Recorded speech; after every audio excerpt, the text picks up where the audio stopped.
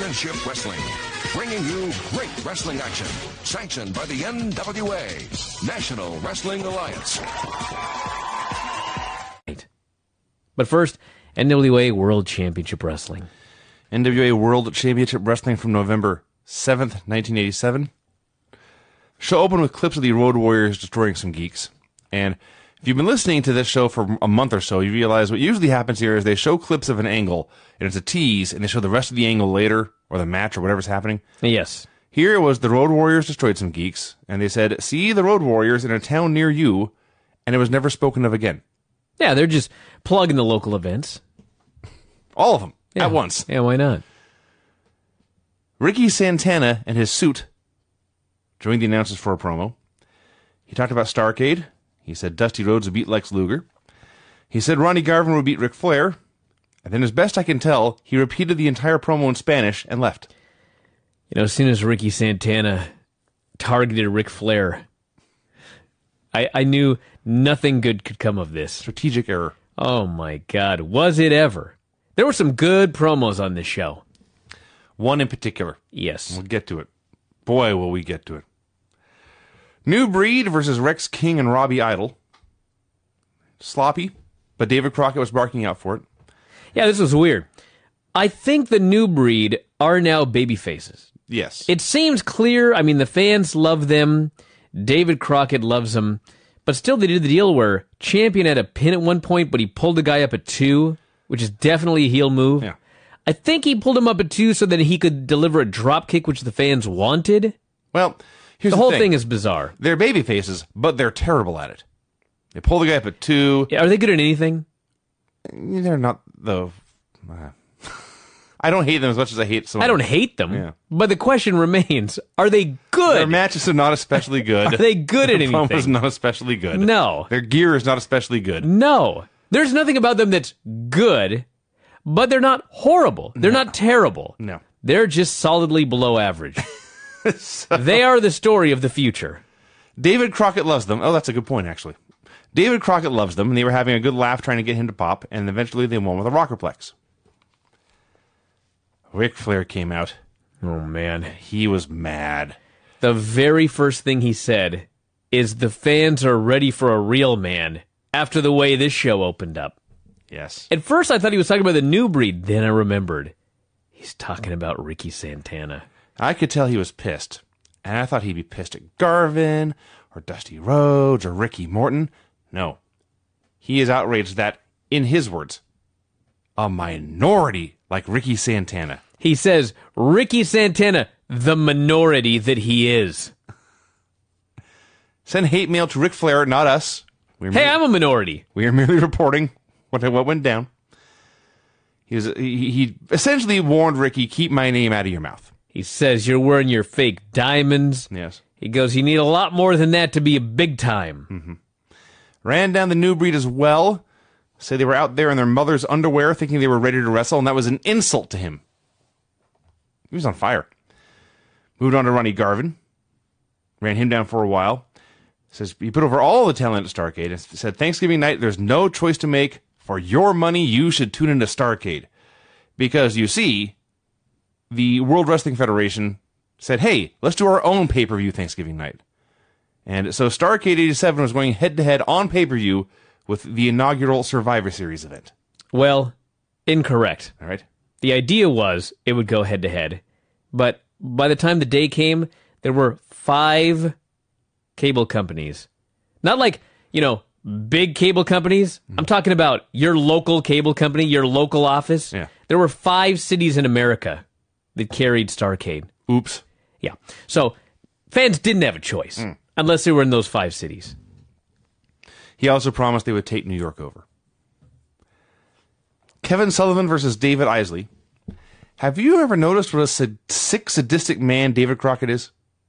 No, because I love seeing dudes beat the shit out of each other too. Kevin Sullivan's going to destroy another one, he says with glee. Hey, when I watch this show, I'm begging for something like this.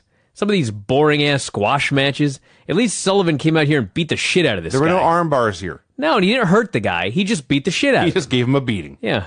Beat him, for, beat him up for three minutes and pinned him with a foot stomp. And it was weird because we have asked the question repeatedly.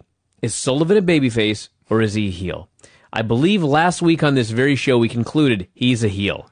Wrong. The way they're doing commentary, he's a babyface. How? I don't know.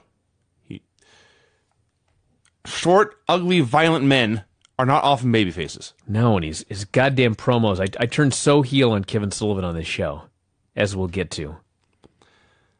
Starcade Control Center report. Then he stole two finishes. He stole the punch to the head and the double foot stomp, the standing double foot stomp. Anything else, dude?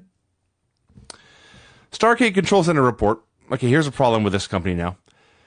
I feel like we've been building a Starcade for like three months. There's still two weeks to go. They had nothing new to add. They just ran down the card and said, hey, after this, we have the Bunk- Bunkhouse Stampede to look forward to. And that was it. Well, Vinny, you see, the problem is back in the day, you got the card weeks in advance mm-hmm. because that's how you sold tickets. Yeah. And then all you could do was keep plugging it if there were any tickets left and try to sell the pay per view. Now, WWE waits till the very last minute to do the final matches. Yes. Sometimes we don't even get the whole card until the day of the show. Sure. So you've grown up in an era where every week they got to add a little bit of stuff. This was just a different era. This was the way they did things. They could have done something here. They could have had somebody cut a promo. They could have had- or they- shown they- highlights of something. Sure. Yeah.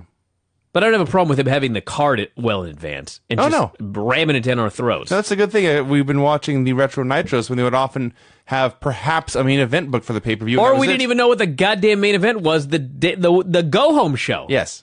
Like uh, that last show, Hall and Goldberg, they told us the the go home show, like at the end of the show. Yes. Sting versus Tommy Angel. Cut to a shot of a lovely young lady in the crowd. David Crockett. We got some good looking fans. Dude, he was a creep this evening. There was a lot more to come. I actually got significantly pervier later. Yes. So Sting did a horrible dropkick. Something something that might have been a power bomb. Thing with Sting was, I could never call him terrible, but he was very green. Sure. And some of the things he did were in fact terrible. Yes. But overall, he wasn't terrible. No. He was just a green guy. This fucking dropkick was terrible. Yes. And over the course of the next, what, 30 years, it got a little better? his dropkick and his top rope splash, never his best moves. no. No. But he didn't give up. he stuck with them. Somewhere in here, Crockett starts plugging the Nikita Koloff Terry Taylor match and just says, Nikita's gonna massacre that preppy. Sting won here with the Stinger Splash. It was okay. It was fine. I could not bury this. Midnight Express versus Bob Emery and Joe Lynn. You know what the theme of the show was? I really started to figure out in this match. The theme of this show, it was like somebody backstage said, you know what? Last week's show was fucking boring. So everybody give something to the jobbers. Because every match on this show, the jobbers, at least for a while, got heat on the stars. They got something. and it was hilarious in some cases. like sometimes it was this one here was the two jobbers are working over the express early. And then what is the number one rule of tag team wrestling? Cut off the ring. Two men beat up one. And no, one man, like if it's real. I see. Cut off the ring. Yes. Right? This fucking jobber's beating on Bob Eaton, and he just walks him right over to Eaton's corner. And Stan Lane tagged in, and they beat the shit out of this guy. Eaton looked at him for a second. And he tagged in Stan and said, "Well, since we're here, we'll just kill you now." Yep. And then later, Eaton was like, ah, fuck. Let's give him one more thing. So he goes and lets his buddy tag in. And he beats the shit out of him. Then they won. It was funny at first because I'm honestly not sure which, but one of these jobbers was big, a big, scary looking guy. So it made sense that Eaton would give this guy some offense because he was big and scary looking. It fit. And then he tags in the skinny dude with the mustache, and that guy ran wild. And then I was just confused.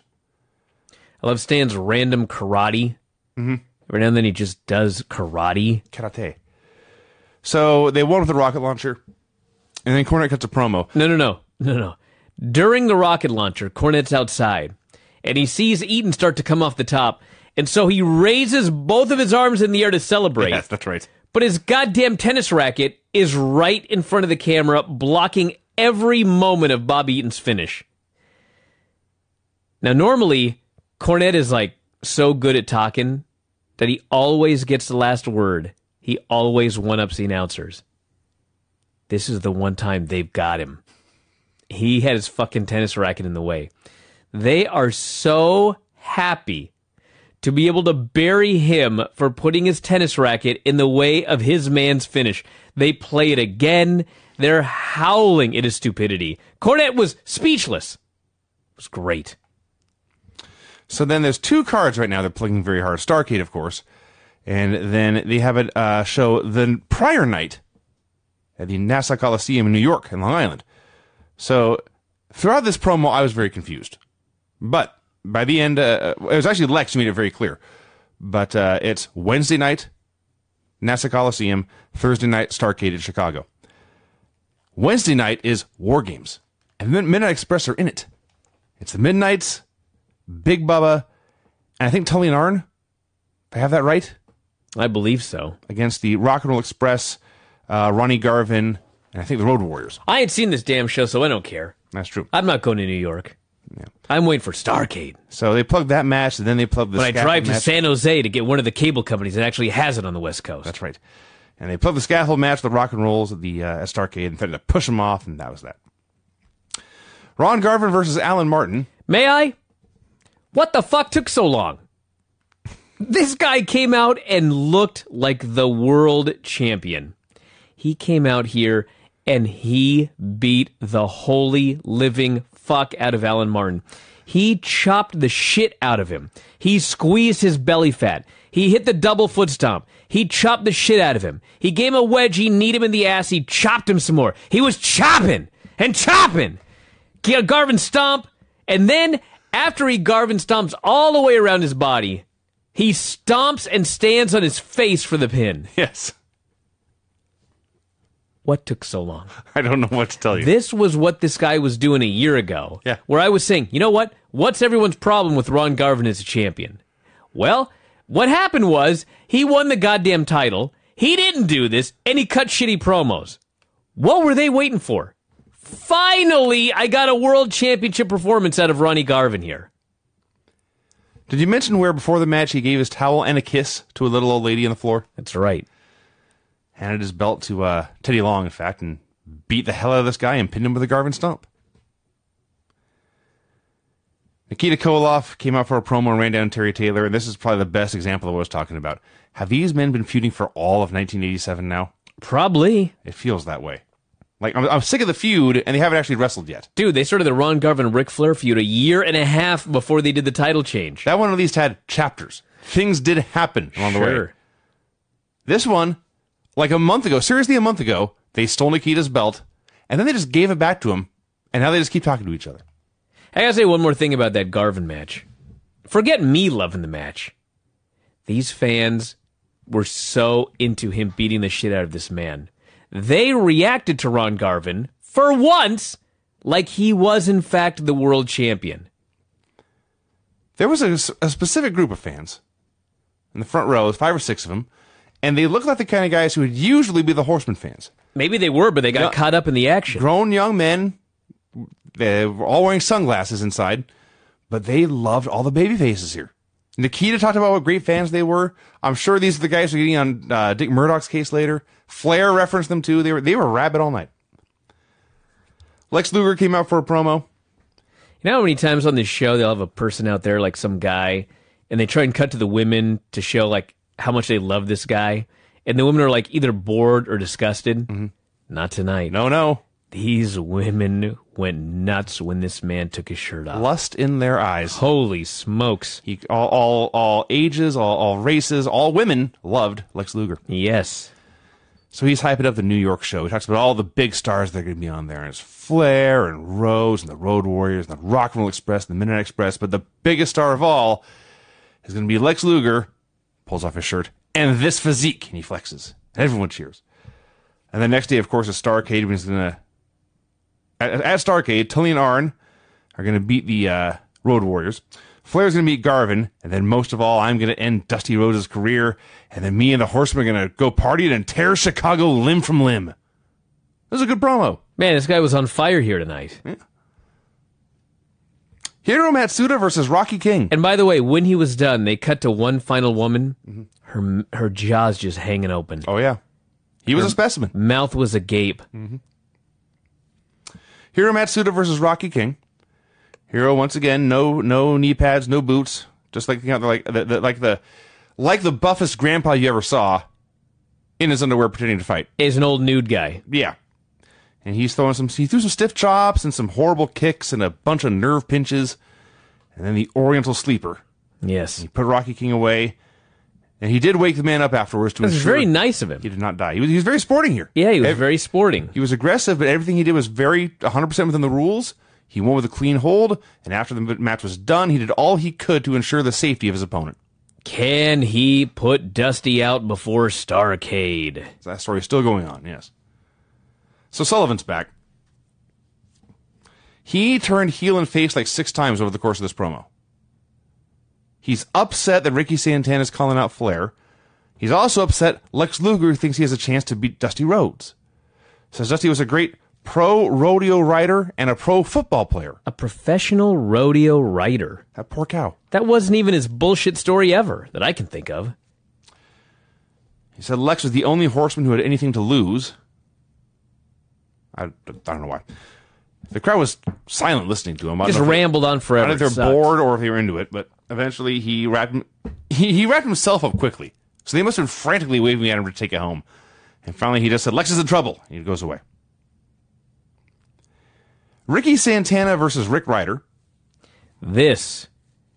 So apparently last year on Valentine's Day, Ah, Valentine's Day. Okay. Tony Schiavone must have handed out roses to all of the older ladies or something like that. I think it was couples and their anniversary. something like that. Yeah.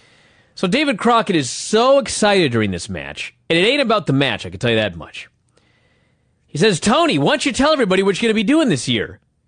And Tony's like, you know, trying not to get a divorce, so he's just very quiet. and David says, come on, tell him. You're going to be handing out roses this year to all the girls who turn 21. They turn into be women. That's exactly what he said. They turn into be women. That's what he said.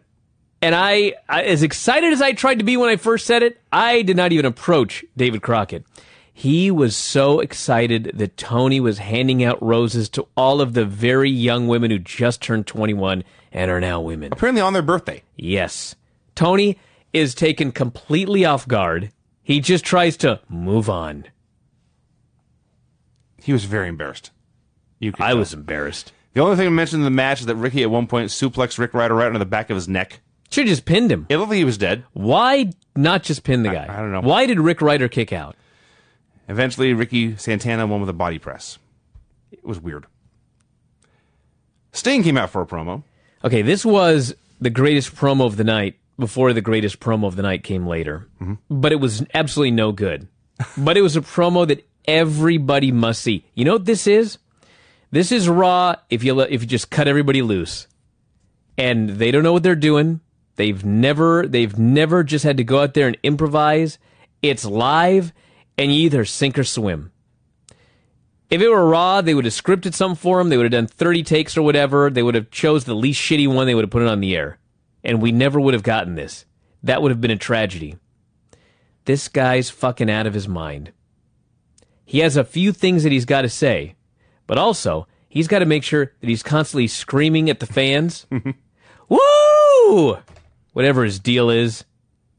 What else did he say? It was more than just wooing. First, he talked about how hot he was. Then he said, "Ow!" That's right. He says, My temperature ain't 98.6. It's 104 degrees. And I feel really good. it's Like, you should be in the hospital right now. he said the announcers might melt. He was so hot.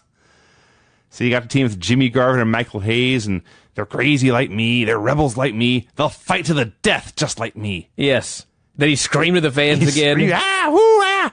And the fans are screaming back, and they cut to a wide shot, and Tony is supposed to wrap it up. And as he starts to speak, Sting just gives one more scream, and Tony gives up, and he drops the mic, he looks at the camera, and he waves goodbye, and they fade to black. This had to have been the craziest interview in the history of the show.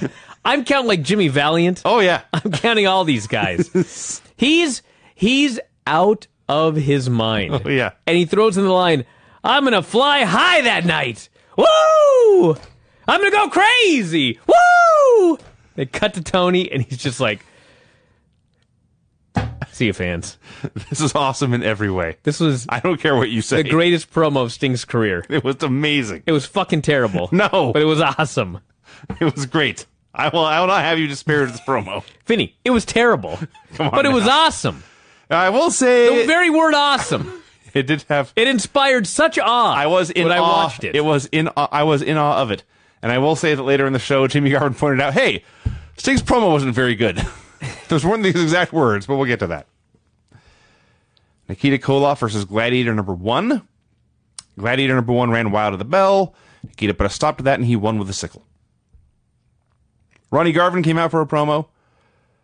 Still had not put his name on the title belt, by the way, which should have been a sign to everyone. bother? Yeah. So he's here actually to plug more than anything else. The uh, autograph signing in Atlanta. Atlanta is I consider I consider it my hometown. I can't wait to meet the people there. I want everyone a chance to see me and see this belt and touch this belt. I want to I want to meet people. I want to sign autographs. I want to give people a chance to chance to touch the belt. It will be a great pleasure to be there. So be there. He says, I'll be there at 6.30. It's a pleasure to be there, so be there. He also mentioned Flair's in a panic. Takes a lot of money to style and profile, he says. His income has dropped dramatically. That's right. He's no longer the champion. I won't change anything, however. I only want this title because I worked my whole life for it. And he says, not a chance. I'm losing the title. Hmm. Kendall Windham versus Thunderfoot number two. The other gladiator, not the Thunderfoot. That was just Thunderfoot number two. Was it? Yeah, because they Hey, called because shit. we laughed and they called him Foot number two. That's right. So, like, the first thing they did is they went and bonked in the corner, and the Thunderfoot number two goes down, and Kendall makes a cover, and the ref says, No, I won't count. He's in the ropes. At which point, foot number two lifts his leg and puts it on the ropes. Oops. What was even worse about it is the ref stops counting after Kendall whacks him out of the corner. And so Kendall picks him up and whips him and it's a drop kick. And I'm like, well, something went wrong. Here's a real finish. No. No. This fucking dude, this foot kicked out and then got the heat. Foot number two got some offense. He was clearly the better worker, by the way. But Kendall won with a bulldog. Michael Hayes and Jimmy Garvin versus Curtis Thompson and Tony Suber. Here we are again, second week in a row. Michael Hayes is out there in electric blue tights and no underwear. I can see too much of little Michael. The Freebird's bird is too free. It's very uncomfortable. They did some stuff. Garvin pinned Suber with a brainbuster. Then they cut a promo how they're all so excited for Starcade. They're so excited for Thanksgiving. Sting's so excited he can't remember what he's supposed to say, Jimmy says.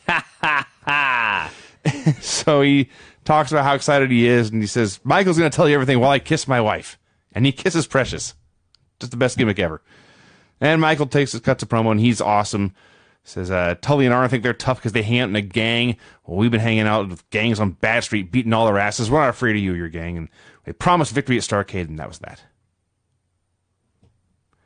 Dick Murdoch versus Bob Cook. All right, this is Bob Cook fella.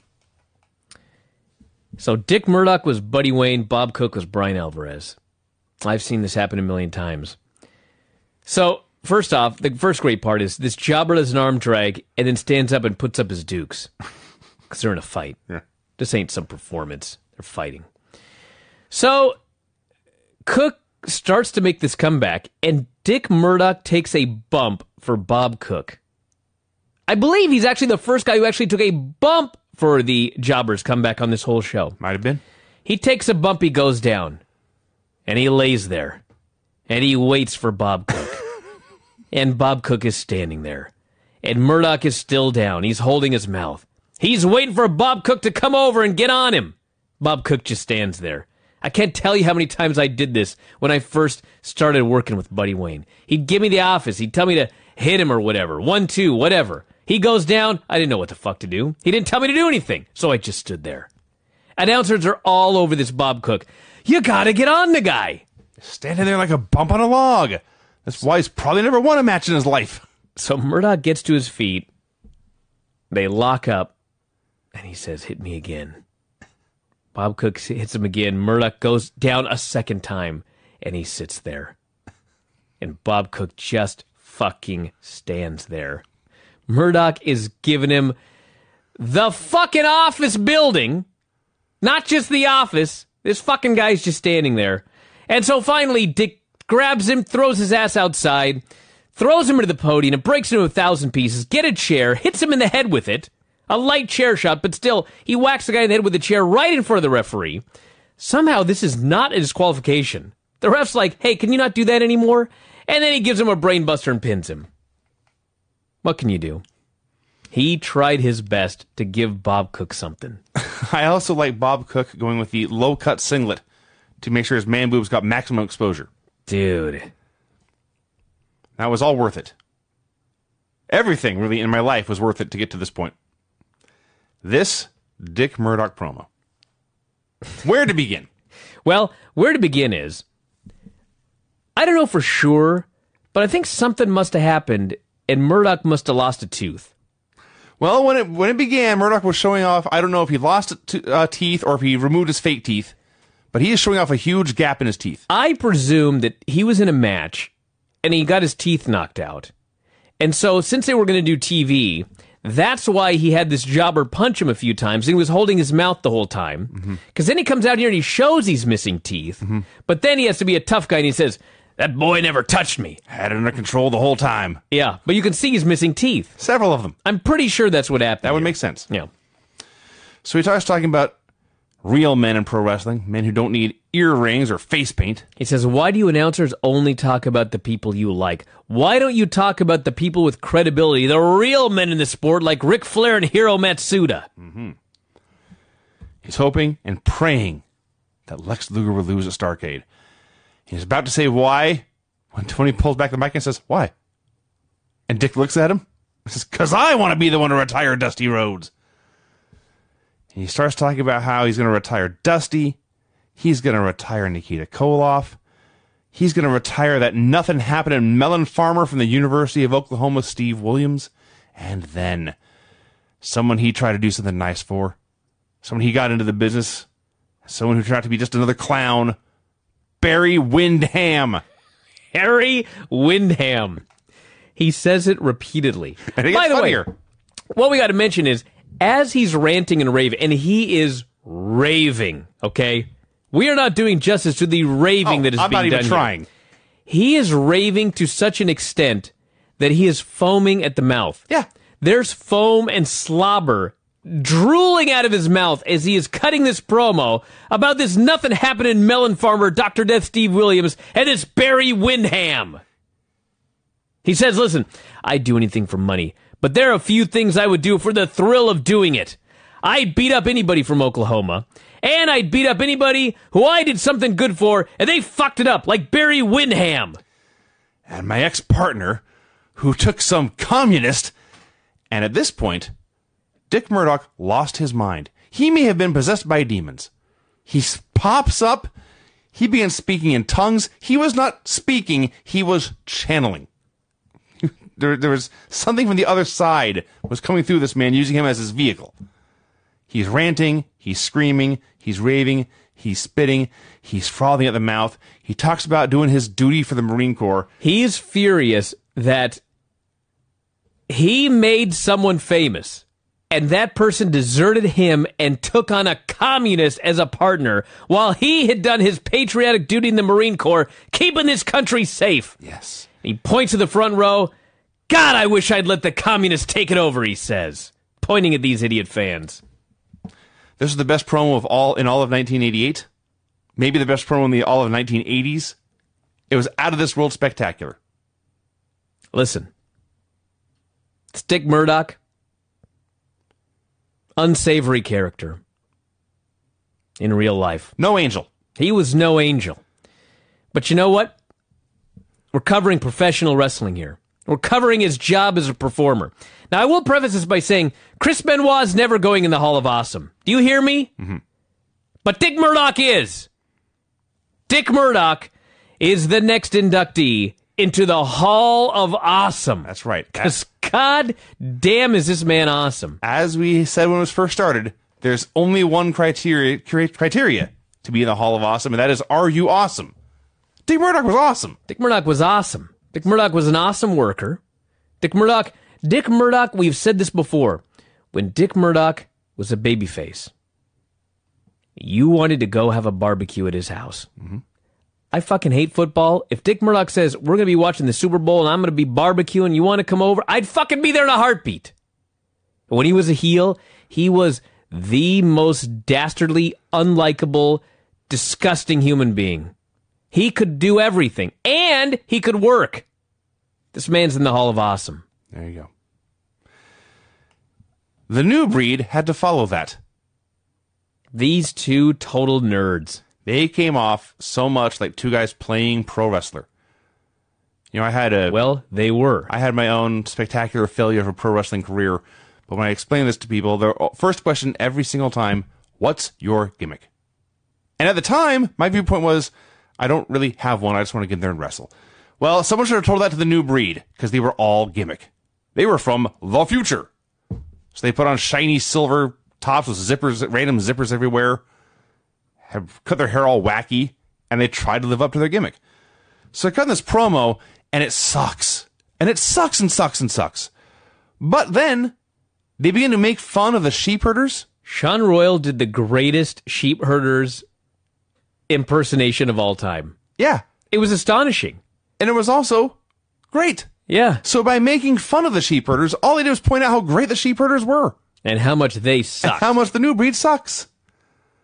And they buried the horsemen. They buried the horseman, they buried the Midnight Express, and that's that. Neither of these will end well.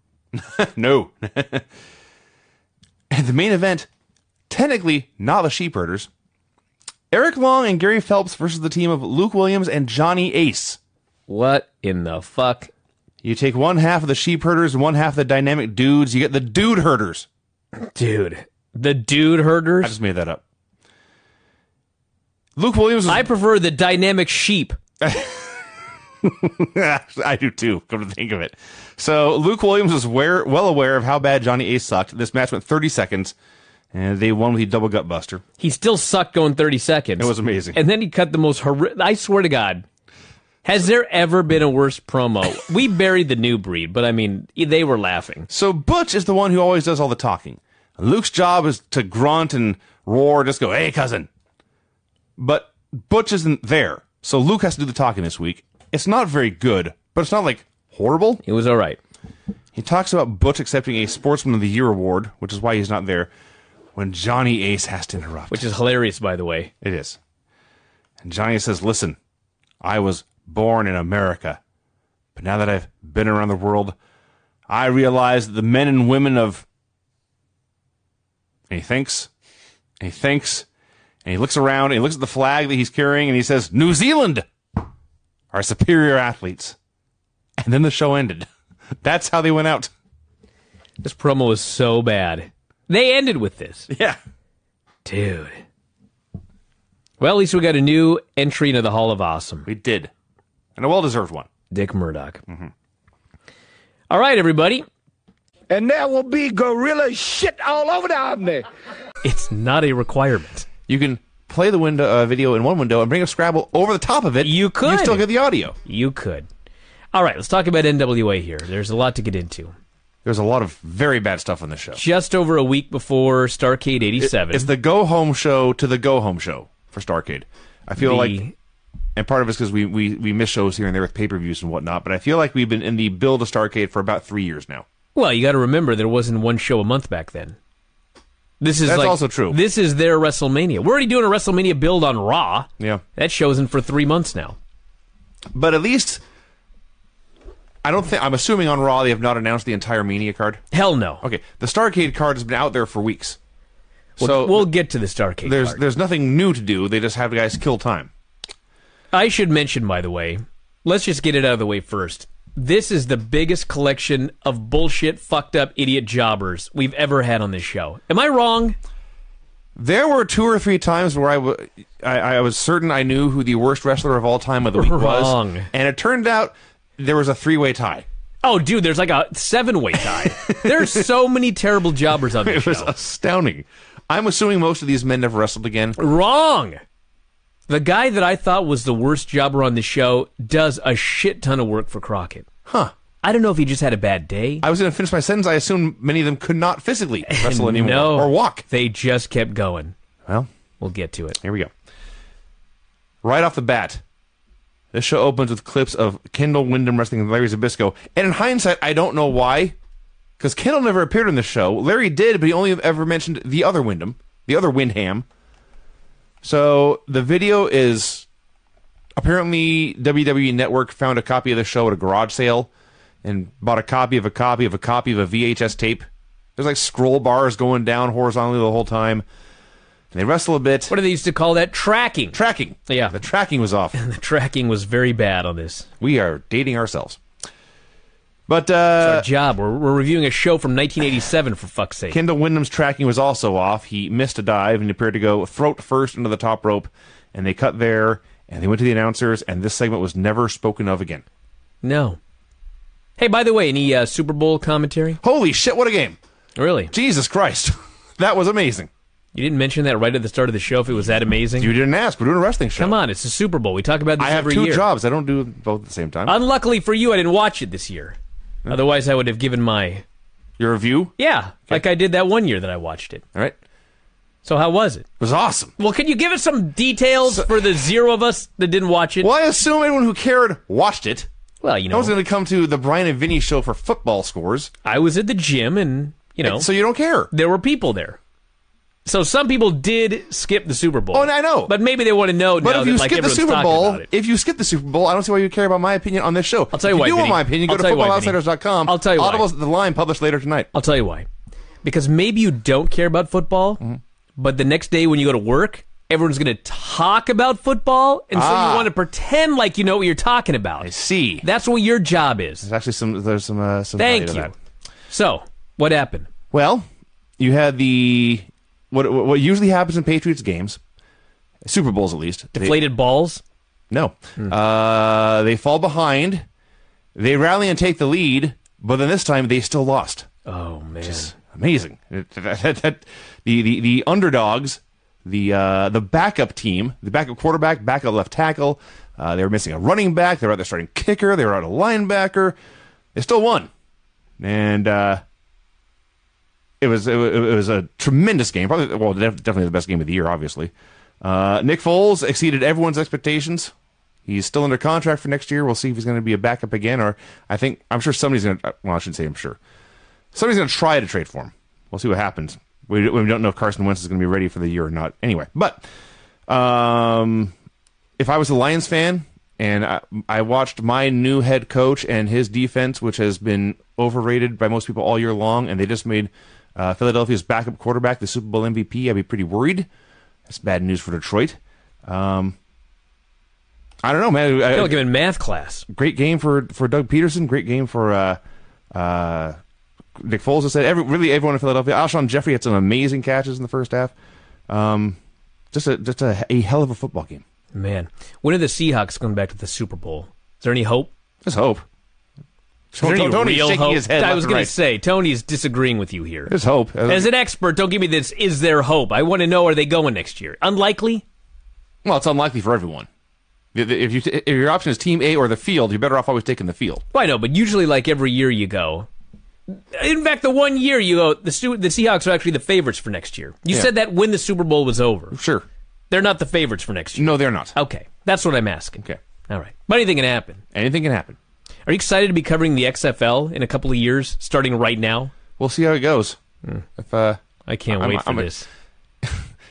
all I rem- honestly, all I remember about it is the the first game they did was a disaster. It was hideously dull, and the the game that they did that went long, and uh, like Saturday Night Live got bumped and basically got NBC pissed at them and was kind of the, the beginning of the end, which I think was in week two. People don't remember this. That was actually a really good football game. that was a lot of fun. Hmm. The LA Xtreme and somebody, but it was fun. It's been seventeen years. Well, so we talk about wrestling now. Yeah, Ron Simmons. Yeah, speaking of football, Ron Simmons is here. exactly. Yeah. Look at my tie-in. Like, f- gr- excellent segue. Thank you. So this is a different Ron Simmons than we've seen before. He's angrier. He says, talked about how what's going to go down at Starcade is worse than a major war in the projects. A couple brothers there who've forgotten what it's like to grow up, have to fight your brother for a pair of jeans because you're the one who wants to wear them. They've forgotten what it's like to ask your mama what's for dinner, and she says nothing because the stamps didn't come. He's upset at the jive tones The jive tones. He's going to teach him a lesson at Starcade. They didn't even mention who the Jive Tones were. We'd never heard of him before. They he just said the Jive Tones are going to find out who's the toughest. I guess they assumed every fan watching TBS That's impossible. in '87 was I also. think I think we were supposed to learn who they were. well, there was no Google. And Everyone boy, run down to the market and buy PWI. did we ever find out what the Jive Tones did four Jive months prior? Tones were at the end of this show. That's true. Steve Williams versus Rex King. Okay, not everything on the show is terrible. Steve Williams, in a completely terrifying manner, destroyed this man. It was like a shoot. Yes, There was a legit shoot pro wrestling arm drag in this match. Yes. First, he did his power slam like a minute in. That was his finish, but it was only a minute in. So pick the guy up. He goes for a press slam. Now, those little inside baseball here, for those of you who don't know about how, wrestling works, when you press slam a guy, the guy being press slammed posts up with his hands on your shoulders to make it easier to lift him over your head. Uh, Rex King was Steve Williams versus Rex King. Did I mention that? Rex King did not have his hands on Dr. Death's shoulders or his head. They were out to his sides waving in the air. As Dr. He Death, didn't need to. he could have done reps. He could have held him up there for days. I like when Dr. Death did his power slam early and Rex King was going to do a leapfrog and Dr. Death would catch him. And I guess Rex King wasn't sure if Dr. Death could catch him because he jumped really fucking high. Hmm. And Dr. Death was underneath him for like a full second before the guy finally came down and he caught him. Yeah. So he power slams this guy, and then he pulls him up at two. But then he arm drags him and doesn't pull him up. And Rex King kicks out of an arm drag. Yes. Okay, this was not the best match technically. No. But it was fun. It was a great spectacle. Yes. So he runs wild. He does his spear, which again is more like a running backdrop. I've never seen anyone do this move like this. And eventually he hit, a, he hit his power slam and won. All I could think was this was done is I want a time machine so I can go back to the early 1980s and make mixed martial arts a viable career and get Steve Williams in the octagon. I have more to say on this later. It's called Brawl for All, baby. Ugh, uh-huh. Didn't turn out well for not the him. same. Plus, it was not the same Steve Williams. No, it was the same guy. It was 10 years later. That's true. So, then he cuts his. I got to talk about this promo very quickly. All right. So he's having a babyface match against Barry Windham at Starcade. Now they can't call it a babyface match. So he's explaining, I'm a competitor. I like you. I respect you, Barry Windham. You're a competitor. We're going to be competing here at this Starcade show. He says, and I quote, It's like a football game or a wrestling match. Yeah. This wrestling match, Vinny, Yeah. is going to be like a oh. wrestling match. He did say that. That's what he said. He also said, this isn't going to be a fight. It's going to be a wrestling match. It'll be about technique. Yes. And he began to list off all the moves he had just performed the go behinds, the arm drags, the single legs. Somebody's got to be turning. I don't remember. We'll find out. Yeah. This was neither a great promo nor a great match this week, but it was it was exciting. The pro actually was much like the match. It was sloppy, but a spectacle. yes. He's shouting about how he's been defending the UWF belt all over the world. It took him a long time to get it, with lots of people trying to stab him in the back. But what does that even mean if this is a real sport? I enjoy this.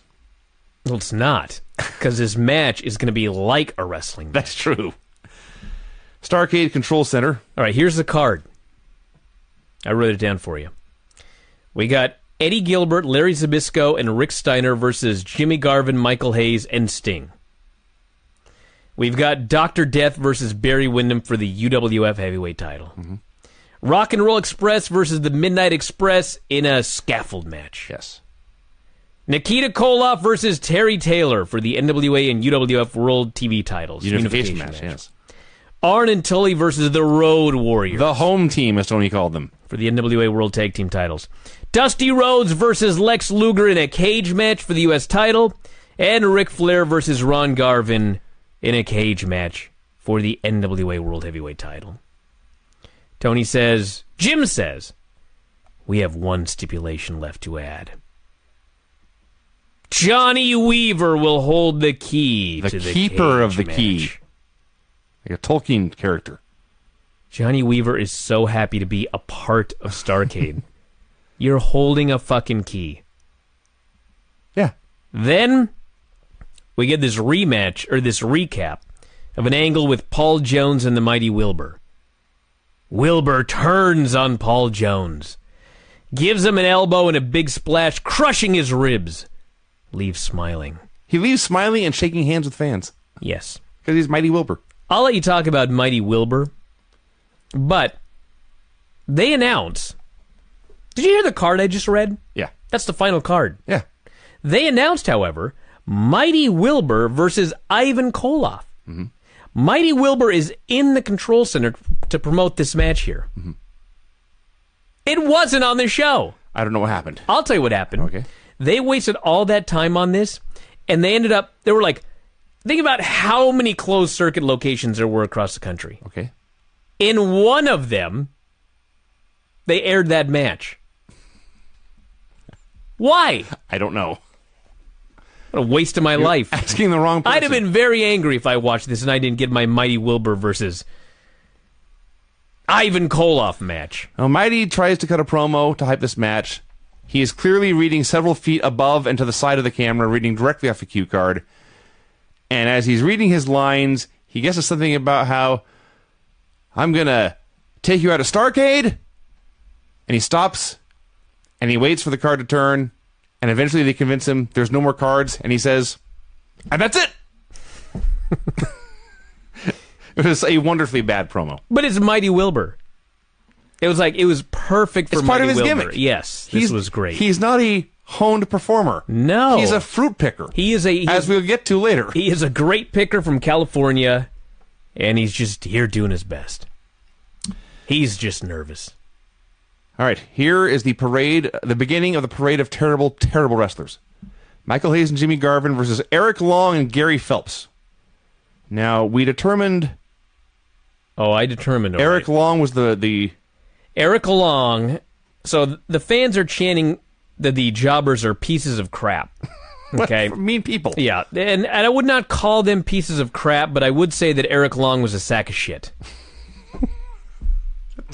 And how is that different? He would not go up for anything. That's actually true.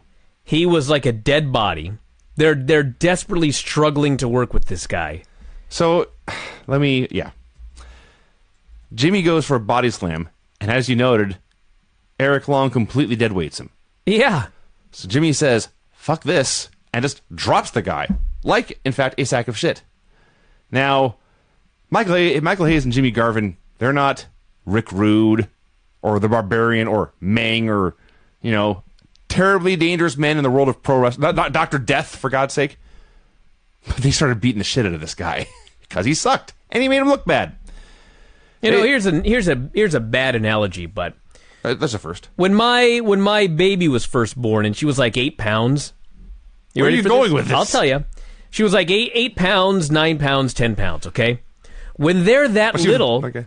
they haven't learned to hold on to you yet. So basically, you're carrying dead weight. By the time they're 15, 16 pounds, now they kind of hold on to you a little bit. Right? Sure. Okay, so they they don't feel as heavy because they're helping a little. So when you lift a fucking guy up for a side suplex, okay, you grab him around the waist, you go to lift the guy up, he holds onto your waist, he can hold onto your arm or whatever. Sure. he's helping you a little bit. Yeah. This fucking Gary Phelps, they go for a side suplex, and he's like, he's stiff as a board. You know how hard it is to lift a guy who's stiff as a board like that? Pretty hard. Fucking just dropped him Yeah. As they should have. They threw him outside. They chopped him so he had to bump on the cement. Michael Hayes, of all people, is throwing these just forearms of death to the guy's back, hitting him as hard as Because he sucks. Because he sucks. Eventually, they threw him to the corner, and Gary Phelps tagged in. Now, Phelps was at least trained. He was less terrible. He was he was competent. Uh, he did have the fashion sense to go with the singlet. And I love there's I've seen this before on these Saturday night shows. I don't know why guys just don't get a shirt or a full coverage singlet. This guy gets a singlet where the the the the, the neck essentially is cut down almost to the navel, so you just have two thin straps running up the chest, which is fine if you have a great body. But if you are Gary Phelps, all it does is lift and separate your man boobs to make them extra jigglier. It's a terrible. or it display. goes around the side so it squishes them together. Yeah, you get cleavage. That happens Yeah. too. Oh Just- man, terrible. like- this is horrid. They went on national TV like this. Sickening. They looked at, looked at the mirror and said, "I'm good." So they did some stuff and they pinned him with a bulldog. It's grotesque. The sort of Freebirds cut a promo after the break. Hyped up Starcade. You know, I got to say, Jimmy Garvin's trying so hard to put over Ronnie. Ronnie was such a failure. Mm-hmm. Like, TV ratings slashed in half. They, like, dropped out of, like, the top five into below the top 15. Just absolutely hideous. And so he's here trying to put over his brother, and it's like a heel move. Ronnie's going to win. He's going to beat Ric Flair. It's like nobody wants to see that, dude. But he's trying. So, yeah, they called out uh, the winners of the tag team titles, whoever that would be, although it would probably be the Road Warriors, they were sure to say. And Hayes says at Starcade, people are going to lose titles and money and egos and maybe even careers, but we're not losing anything. Rick Steiner versus Keith Steinborn. Holy shit. It must have been put together just because their names are similar. So I'm pretty sure this was Rick's Saturday night debut. He's out there looking huge and scary. And he does like the exact same match Dr. Death did, where he's doing incredible power moves and then actual legit amateur takedowns. So he picks Keith Steinborn up over his shoulder, and he does the running face first slam in the turnbuckles, which he did his entire career. First time Jimmy Crockett had seen this, and I'm quite certain the happiest moment of Jimmy Crockett's life. He had a moment of ecstasy. It honestly, if we play that audio, he said, "Oh yeah, oh yeah, oh, oh yeah, oh yeah, oh yeah." And then he goes, Ow! He did howl like a wolf after it was all said and done. I'm not making that up. No. So Rick beat him up for a while. That was the craziest thing I've ever seen David Crockett do. So far, And think about that. he, he has never gone crazy for something like he went crazy for there. The, the greatest moment of, of his life, I'm convinced. So the match went on, and Rick went with a belly to belly, and all I could think was when this is done was, I want to pay a lot of money to watch Rick Steiner fight Steve Williams. You know that funny? sounds awesome. What's funny about this is is uh, so in 1988, I guess Dusty had this idea of Rick Steiner's going to beat Ric Flair in five minutes at Starcade. This was a goddamn scandal back then. Yeah. Okay. And uh, like this is another one of those things in hindsight. If this fucking guy would have beat Ric Flair, I got no problem with that. this is not like Tank Abbott winning the world title or David Arquette or any of Russo's stupid ideas. No. Like, I realized that a year ago I thought, what's so bad about Ron Garvin beating Ric Flair? Okay, clearly I was wrong when it actually happened. And maybe I'd be wrong if Rick Steiner would have beat Ric Flair in five minutes to Starcade, but this fucking guy here looked like a monster. Mm-hmm. He was practically the size of Scott in 1999. He was huge. His shoulders are like out to here. His traps are like in line with the top of his head. He's suplexing this fucker everywhere. He's throwing him around. He just looked like a monster. Pointing and laughing at him. Dude, he looked awesome. Yeah. It is now time for the spam slam of the week. They left this in. I'm so happy they left this in. I am so happy they left this in. So, you know, to this day, I think WWE still does a sponsored move of the week, or maybe the slam of the week for all I know. But the slam of the week was the gar- Excuse me, the slam of the week? I'll repeat this for Okay. those of you who have not been paying attention. The spam slam of the week. Slam. Slam. Okay. It was the Garvin stomp. That ain't no slam. which is appropriate because spam is not technically food. Hey, You're right. You got me there. So it makes sense. What in the fuck was this? It was the spam slam of the week. Dude. The rule was when the guys got all the tapes to digitize for the WWE network, they had to deal with commercials.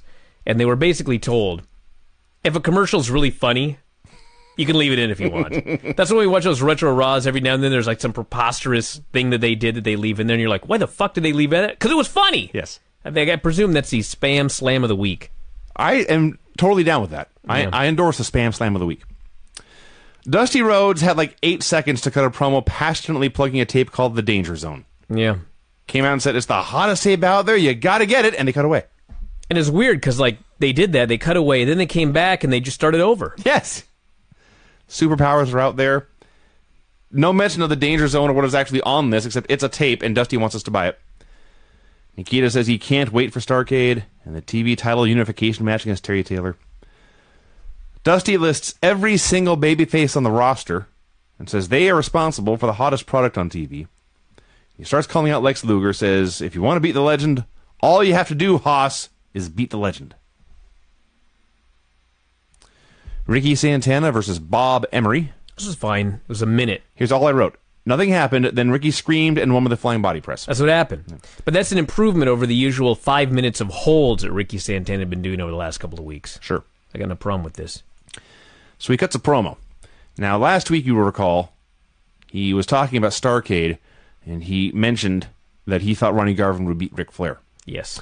And then Ric Flair was outraged. He came out later in the show. He called Santana a minority and warned him not to talk about Flair anymore. that is exactly what happened. Yes. So Santana comes back out this week, and he mentions Ric Flair again. I'm not sure what he said because he was speaking Spanish at the time. But he talks about Flair. He speaks in Spanish, and he goes on his way. And all I can think is, man, next week's the go home show for Starcade, and I suspect young Mr. Santana is in for a long, long afternoon. Well, you know, he said that I got my money on on Dusty and I got my money on Ronnie. So I mean, he likely came out even. well, there's that. I hadn't thought of that. Yeah. So he finishes, and Tony's about to wrap it up, and Kevin Sullivan inter- interrupts. I have never in all my years watching wrestling seen a man turning purple and screaming with rage doing predictions for a pay-per-view. That's what he was doing. This is not a knock. What I'm about to say is not a knock on Kevin Sullivan as a person or as a performer, but I am really, really sick of him coming out here every week with nothing to say. All he does is do predictions. He did. Can we get this guy a program? Oh, it's coming. something to talk about for it's himself. Coming, it's coming very soon. But it was bizarre. It was bizarre. He's giving his predictions for the top matches at Starcade, and he's screaming at the top of his lungs and in a rage. I don't even know why. He's very angry. There's no way in hell, he says, Ronnie Garvin could ever beat Ric Flair. Well, five weeks ago, he did. So there's at least one way. He says there's no way Luger can beat Dusty Rhodes in the cage. So he's seriously doubting the babyface world heavyweight champion, Yeah. but then also seriously doubting the heel U.S. heavyweight champion. Yeah. And then he says there's no way Barry Windham can beat Steve Williams. So he's seriously doubting one of the two babyfaces. I don't know what. I don't know. He just comes out and rants and raves about nothing, and it never goes anywhere. It will. Tully Blanchard and Arn Anderson versus B.T. Washington and El Negro. B.T. Washington. Yes. Where'd that guy come from? I did not get his hometown. He's out there with the he's wrestling in bare feet, the uh, Hawaiian print trunks over his black tights, like every 1980s Polynesian wrestler. The match was short. The Horseman. He was Polynesian? That's how he was dressed. I see. That's what I'm saying. Uh, anyway, so the Horseman pinned El Negro, who was just a masked black guy, pinned him very quickly with the uh, double gourd buster. But there was a point to all of this. There's a point to all this. Yes. The announcer said it, but then the Horseman made it clear after the break when they were cutting their promo. Tully says, J.J. Dillon, how much does Animal weigh? JJ says, I believe Road Warrior Animal weighs about 280 pounds. Tully says, JJ, how much does Hawk weigh? JJ says, I believe Road Warrior Hawk weighs about 272 pounds. And Tully says, Well, that man we just hit with a double gourd buster goes at least 350. So this proves we can hit either Road Warrior with a double gourd buster. Don't doubt what we're capable of. So the Road Warriors being nervous and throwing up at, Star- at Starcade, whereas themselves were calm and in control. They Arn went on a long rant and really didn't say much. They learned from everyone, and they're going to be champions. Of He said there would be balls broken at Starcade. He said bones. No, come on. All I know is that Tully is a great promo, and Arn talked circles around this guy tonight. Arn was on fire. It's great. Ivan Koloff and Warlord versus Curtis Thompson and Max MacGyver. So I'm not sure who was in there with Warlord. Curtis Thompson was beaten. Okay. Warlord, what he did, the result was he did a press slam and then dropped him across his knee into a backbreaker. That was the result. I honestly don't think that's what he was going for. I think he was press slamming him. I don't know what he's going for, but he pulled that off. The, the result looked fine. Yeah. It looked like he was press slamming him, legitimately dropped him, and stuck his knee out trying to break his fall. Well, Like he's trying to save his life. great. I guess. That'd be a good move to start doing now. sure. And then So- Tony Schiavone said, and I quote, that Curtis Thompson was beaten to death here. Those were his exact words. They won quickly with the backbreaker elbow combo, and then it was time for the best thing on the show. This was the best thing on the show by miles. By miles. On a show with a Ric Flair promo, A good Ric Flair promo. that Rick Steiner match. Yeah. The Doctor Death match. So you've got Paul Jones, who's incredibly wacky. Ivan Koloff, who is not terribly wacky by 1980s pro wrestling standards, and the Warlord, who is just standing in the background like Braun Strowman's dad. He's just a big guy looking to the camera, saying and doing nothing.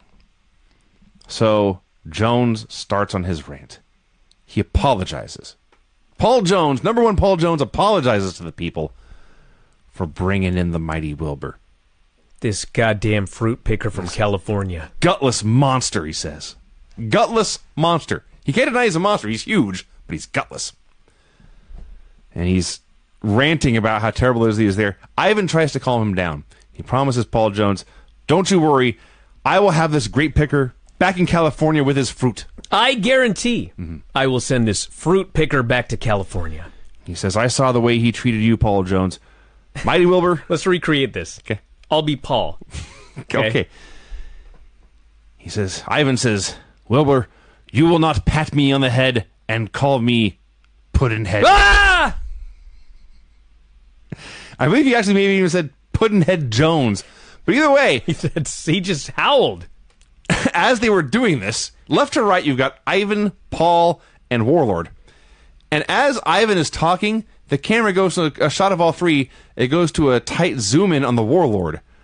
It's, it's a slow, tight zoom in, but it's, it's zooming in on him, so you barely see Ivan and Paul in the frame. But then again, when Ivan mentions the word Puddinhead, Ah! And the Warlord, looking right into the camera, just smiles. He's, He- try, he, he's trying to be big and mean, He tries so hard. and just goes,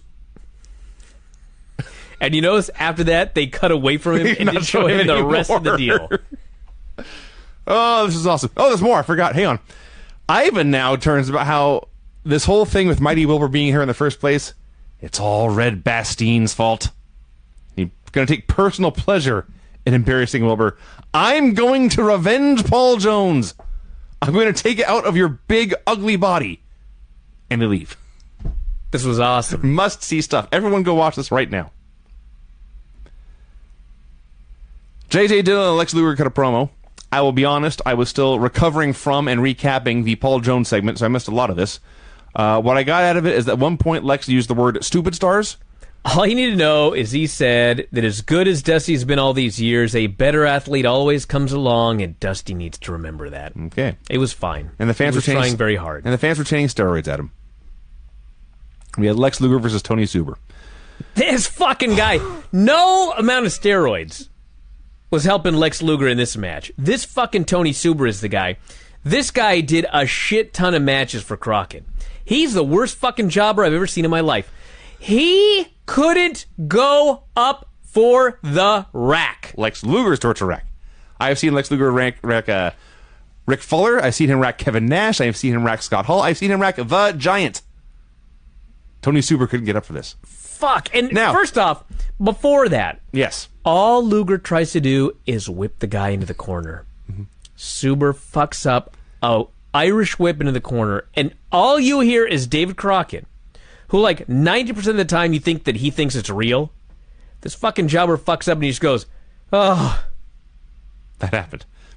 He actually fucked up Irish whips more than once. He would get whipped in the ropes or turnbuckles and then just stop running. So Alexis finally had enough. He signals for the torture rack. He goes to lift up Tony Suber. Suber gets maybe halfway up his back, and for like three or four seconds, he's just like hanging upside down on Lex's one shoulder. And Lex says, fuck this. And he just lets go. Gravity wins, and Tony Suber ends up on the back of his neck on the mat. just dropped him right on his fucking head." He folded over upside down, mm-hmm. knees knees touching the mat. So he lays there. Tony wonders if this man has just broken his neck. Lex makes sure he's alive and then just does an elbow smash and pins him. He's done with this guy. This was appalling. Ric Flair cut a promo. Basically, well, uh, Okay, here's the deal. It was largely every Ric Flair promo ever. but- He's trying to cut the ultimate heel promo. I'm better than everybody. I was born with a golden spoon in my mouth. I dress in the most expensive clothes. I drive the biggest car to the biggest house. on the biggest hill in town. Everybody cheers. He's trying so hard to get booed. Finally, he just says, These idiots over here. And they go, Boo! And he goes, Aha! he was so happy. that Pretty much happened. he had to finally resort to bullshit cheap heat, but he got him to. but it worked. It did. So yes, he explained that because of the he was born with a golden spoon in his mouth. That's why he was successful now, which is actually just a great line because it implies if you were not born rich, you will always be a loser. And he says uh, Ronnie Garvin has to wrestle the man with the golden spoon, and soon he'll be a five-time champion. It was so bizarre hearing Ric Flair going on and on about how he was a four-time champion. I know. Four times? Does it mean fourteen? He meant four. The other funny part of this was the way it was shot. Is uh, uh, David Crockett was in the background, just just smiling the whole time. Not, not- I don't think he knew he was on camera, but he was just reacting to Ric Flair's promo. we had something amazing here. I forgot about this until right now. I believe this was right when Tony showed up. What a thing to walk into. Yes, Tony Tony Admin Nails walked into the room trying to make sense of this. There's a shot of a campfire. We are out on the range. It's, it's nighttime. We are literally at the home on the range. Yeah, yeah. Now it's nighttime, but Johnny Johnny Weaver's sitting around the campfire. He offers us a cup of coffee. I should get my guitar right now. There was, in fact, a lone guitar playing a sad song throughout this entire promo as Johnny Weaver spoke, and later we saw clips of men doing battle. So, Johnny says, It's been a long time, but I was in the first one. Suffered a broken arm fighting 20 or 30 cowboys in the very first bunkhouse stampede.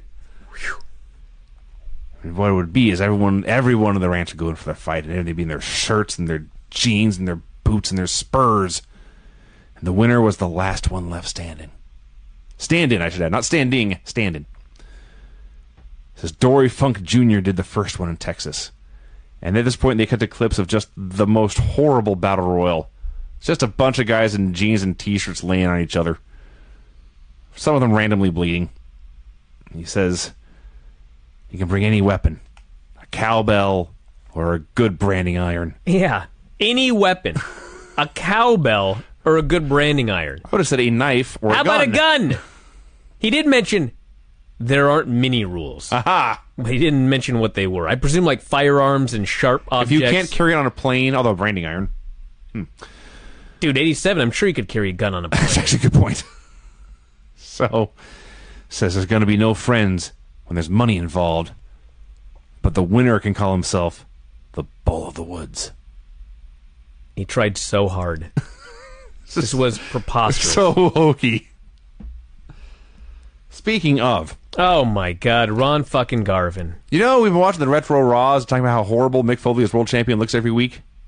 On his worst day, he didn't look as bad as Ronnie Garvin did here. I, I, wouldn't go that far. I don't know, man. Sweatpants in a in a button-up shirt that's torn. At least This he- guy at least had a jean jacket and jeans. Ronnie Garvin looked like a guy. Mankind was at least a guy in a leather mask. There's something spooky and weird about that. He was a homeless guy.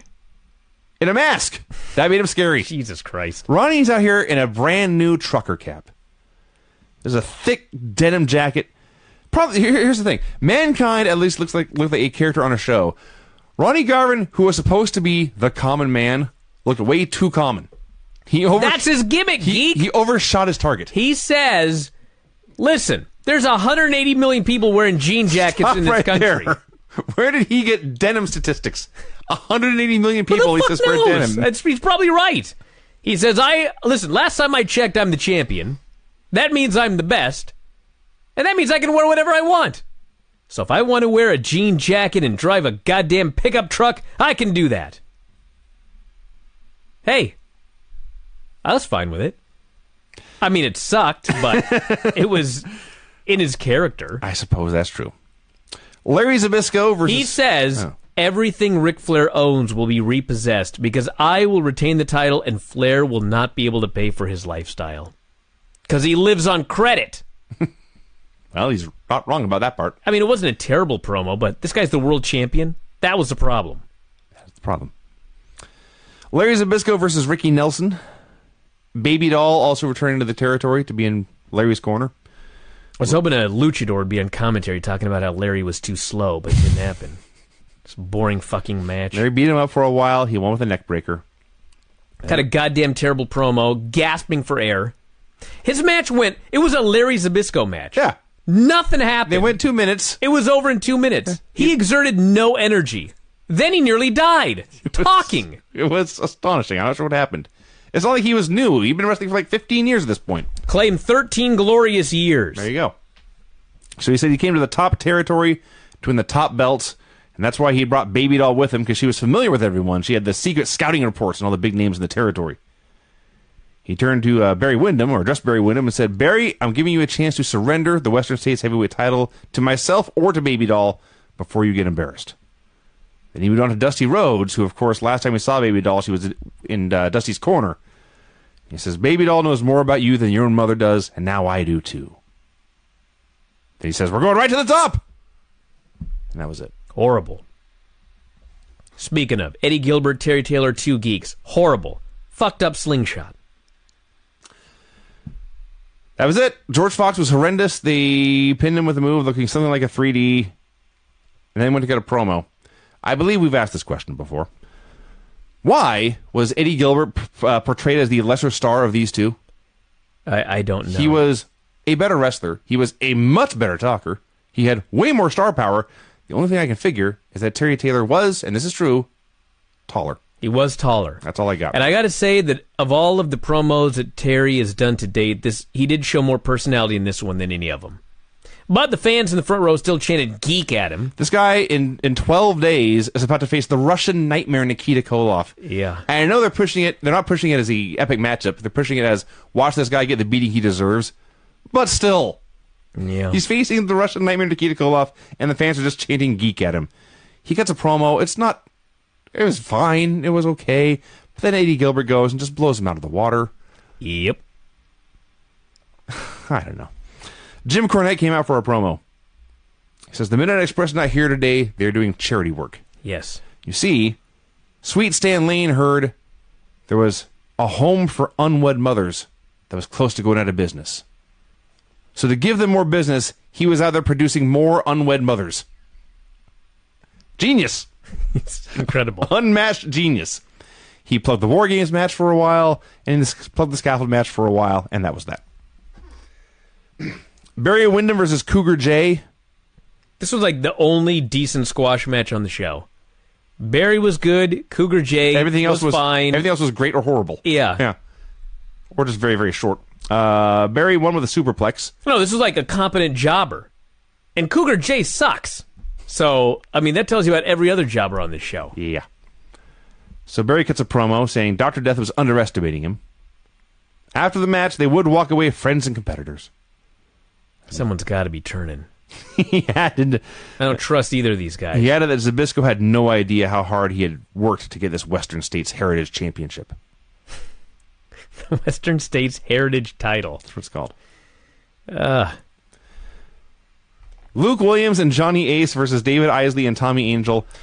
I could tell you almost nothing about this match. As far as what happened in the ring, all I can tell you is that Butch Miller was on commentary. I'm not certain he inhaled at any point. I believe he spoke, screamed really the entire time, and he was great. so last week he wasn't there, and they said that he was. They had some excuse, Like, uh, winning a medal from the Prime Minister of something like that. something. Yeah. So so he's back this week, but he's still not wrestling. Yeah. And I mean, I don't know if he was hurt or what. They had to put Johnny Ace in the ring. He sucks. But we did get Butch on commentary, and he was so. Okay, so you're right. He didn't take one breath.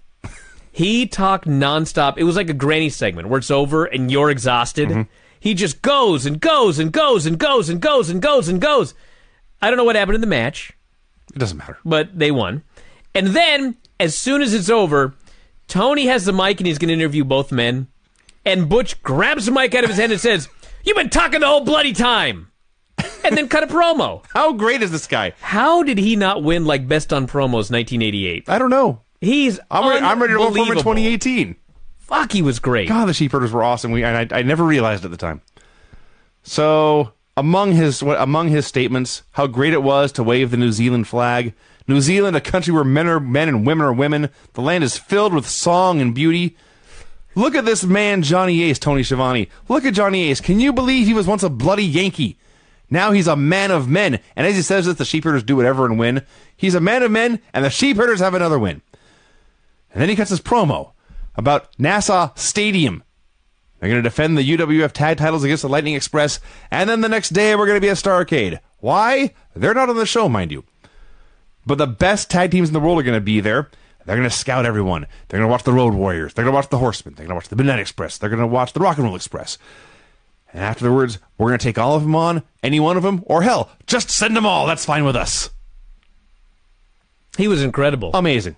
Just amazing. incredible. These are the goddamn bushwhackers. I know. What the fuck? And I'm sure they made more money as the Bushwhackers than they ever did as the Sheepherders. Now, now listen. I don't want to. I don't want to. You know, I'm sure he's a nice guy and all, but you know, Terry Taylor went to WWF and he became the Red Rooster. Mm-hmm. Big fucking scandal at the time. I know. I watch him now and I'm like, I'd have made him a fucking cock too. What's the problem? But these sheep herders becoming the bushwhackers. I mean, how did Vince not go out of business? I don't know. He's a fucking idiot. Someone, I guess they didn't. They weren't totally mute, but just give these guys a mic and get out of the way. Dude, have them be the sheep herders. All they ca- all they These ever did, goofy dingbats licking people's heads. all they did was come out and march and and and, And do comedy. lick heads and do goofy comedy and do and do their one move because their matches were good too. Just get in there and beat the shit out of people. That's all I want. Like if you go back and watch these shows, it's like they took these guys and turned them into two Santinos. Yeah, that's that's exactly what happened. Disgusted. Speaking of disgust, actually, wait, let's hold that thought. The Rock and Roll Express got a promo. well, Robert starts and Ricky literally cut him off in the middle of his deal and did all the talking. And it wasn't even. I've seen a lot of really terrible Robert Gibson promos. This wasn't one of them. This was merely bad. I didn't hear a word he said. He just mumbled. That's all he ever does. But there's somewhere it's worse. But yes, Ricky Morton did just jump in and, and save the day, and it made you wonder again why they even bother giving Gibson a mic. Now, speaking of disgust, Before you even begin, in hindsight, was this not the perfect main event for this fucking show? fair point. Was it not? Because usually you see you start with an interesting match and then build, and the show gets more and more interesting, and then the main event is the best. This show, You had get one digger and di- jobber after another. dig deeper and deeper into the depths of hell, and here we have reached the Earth's core. The Jive Tones versus The Menace and Alan Martin. yes. Okay. The Jive Tones, for those of you who don't know, which I'm assuming is pretty much Everybody. all of you, it's Shaska Whatley, who was on this show a year ago in Paul Jones's Army. Yeah, what happened? He left, and now he, he's back. Sh- Shaska Whatley and Tiger Conway Jr. versus The Menace, which is who the hell knows, and Alan Martin, a guy who's out here doing jobs every week. So when I ter- determined that there was a three-way tie for the worst wrestler of all time of the week, I was referring to the three men in this match who were not Alan Martin. Yeah. Alan Martin was Shawn Michaels his prime compared to these other fuckers here. Shaska Whatley and Tiger Conway were so horrible. They couldn't do anything right. They fucked And you up- know what? It wasn't the jobber's fault. No! It was their fault. I think the Menace was better than either Shaska Wally or Tiger Conway.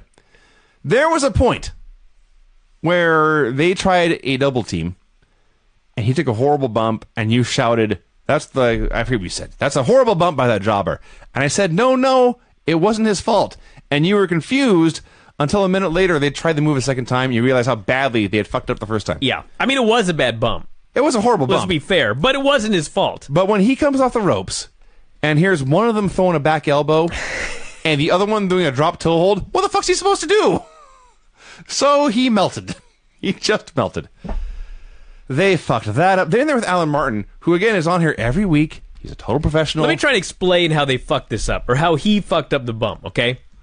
One guy, they're, they're trying to do a double drop toe hold, okay? This is what I think happened. Okay. So he's expecting a double drop toe hold. One guy does a drop toe hold, the other guy is doing the elbow, okay? Mm-hmm.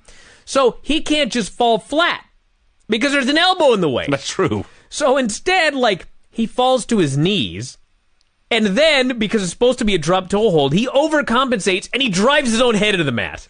Is that not what happened? I'm not even sure. He like fell to his knees and then just goes head first planted into the fucking mat. It was so bad. so And yes, you know what? They did it again. they, they tried. Now hold on for a second. Okay? This is not like you fuck up a 450 and you got to get your shit in. Oh. Okay? It's a double drop toe hold. They were like, "Well, goddamn, we fucked it up. We better do it again." These people pay to see the jive tones. They paid pay to, see a double, drop toe hold. Fuck. Now, before all that, because make no mistake, this was a piece of shit match before all of that. Alan Martin here is out heard, being a professional wrestler every week. He does his job to the best of his ability to make the stars look like stars. Sometimes it's good, sometimes it's bad, but no one ever has a problem with him. How many times did the jive tones almost kill him? Like three times, they picked him for a body slam and dropped him right on his head. They go for a suplex and drop him right on his head. They go for a punch and hit him right in the face. They just murdered him.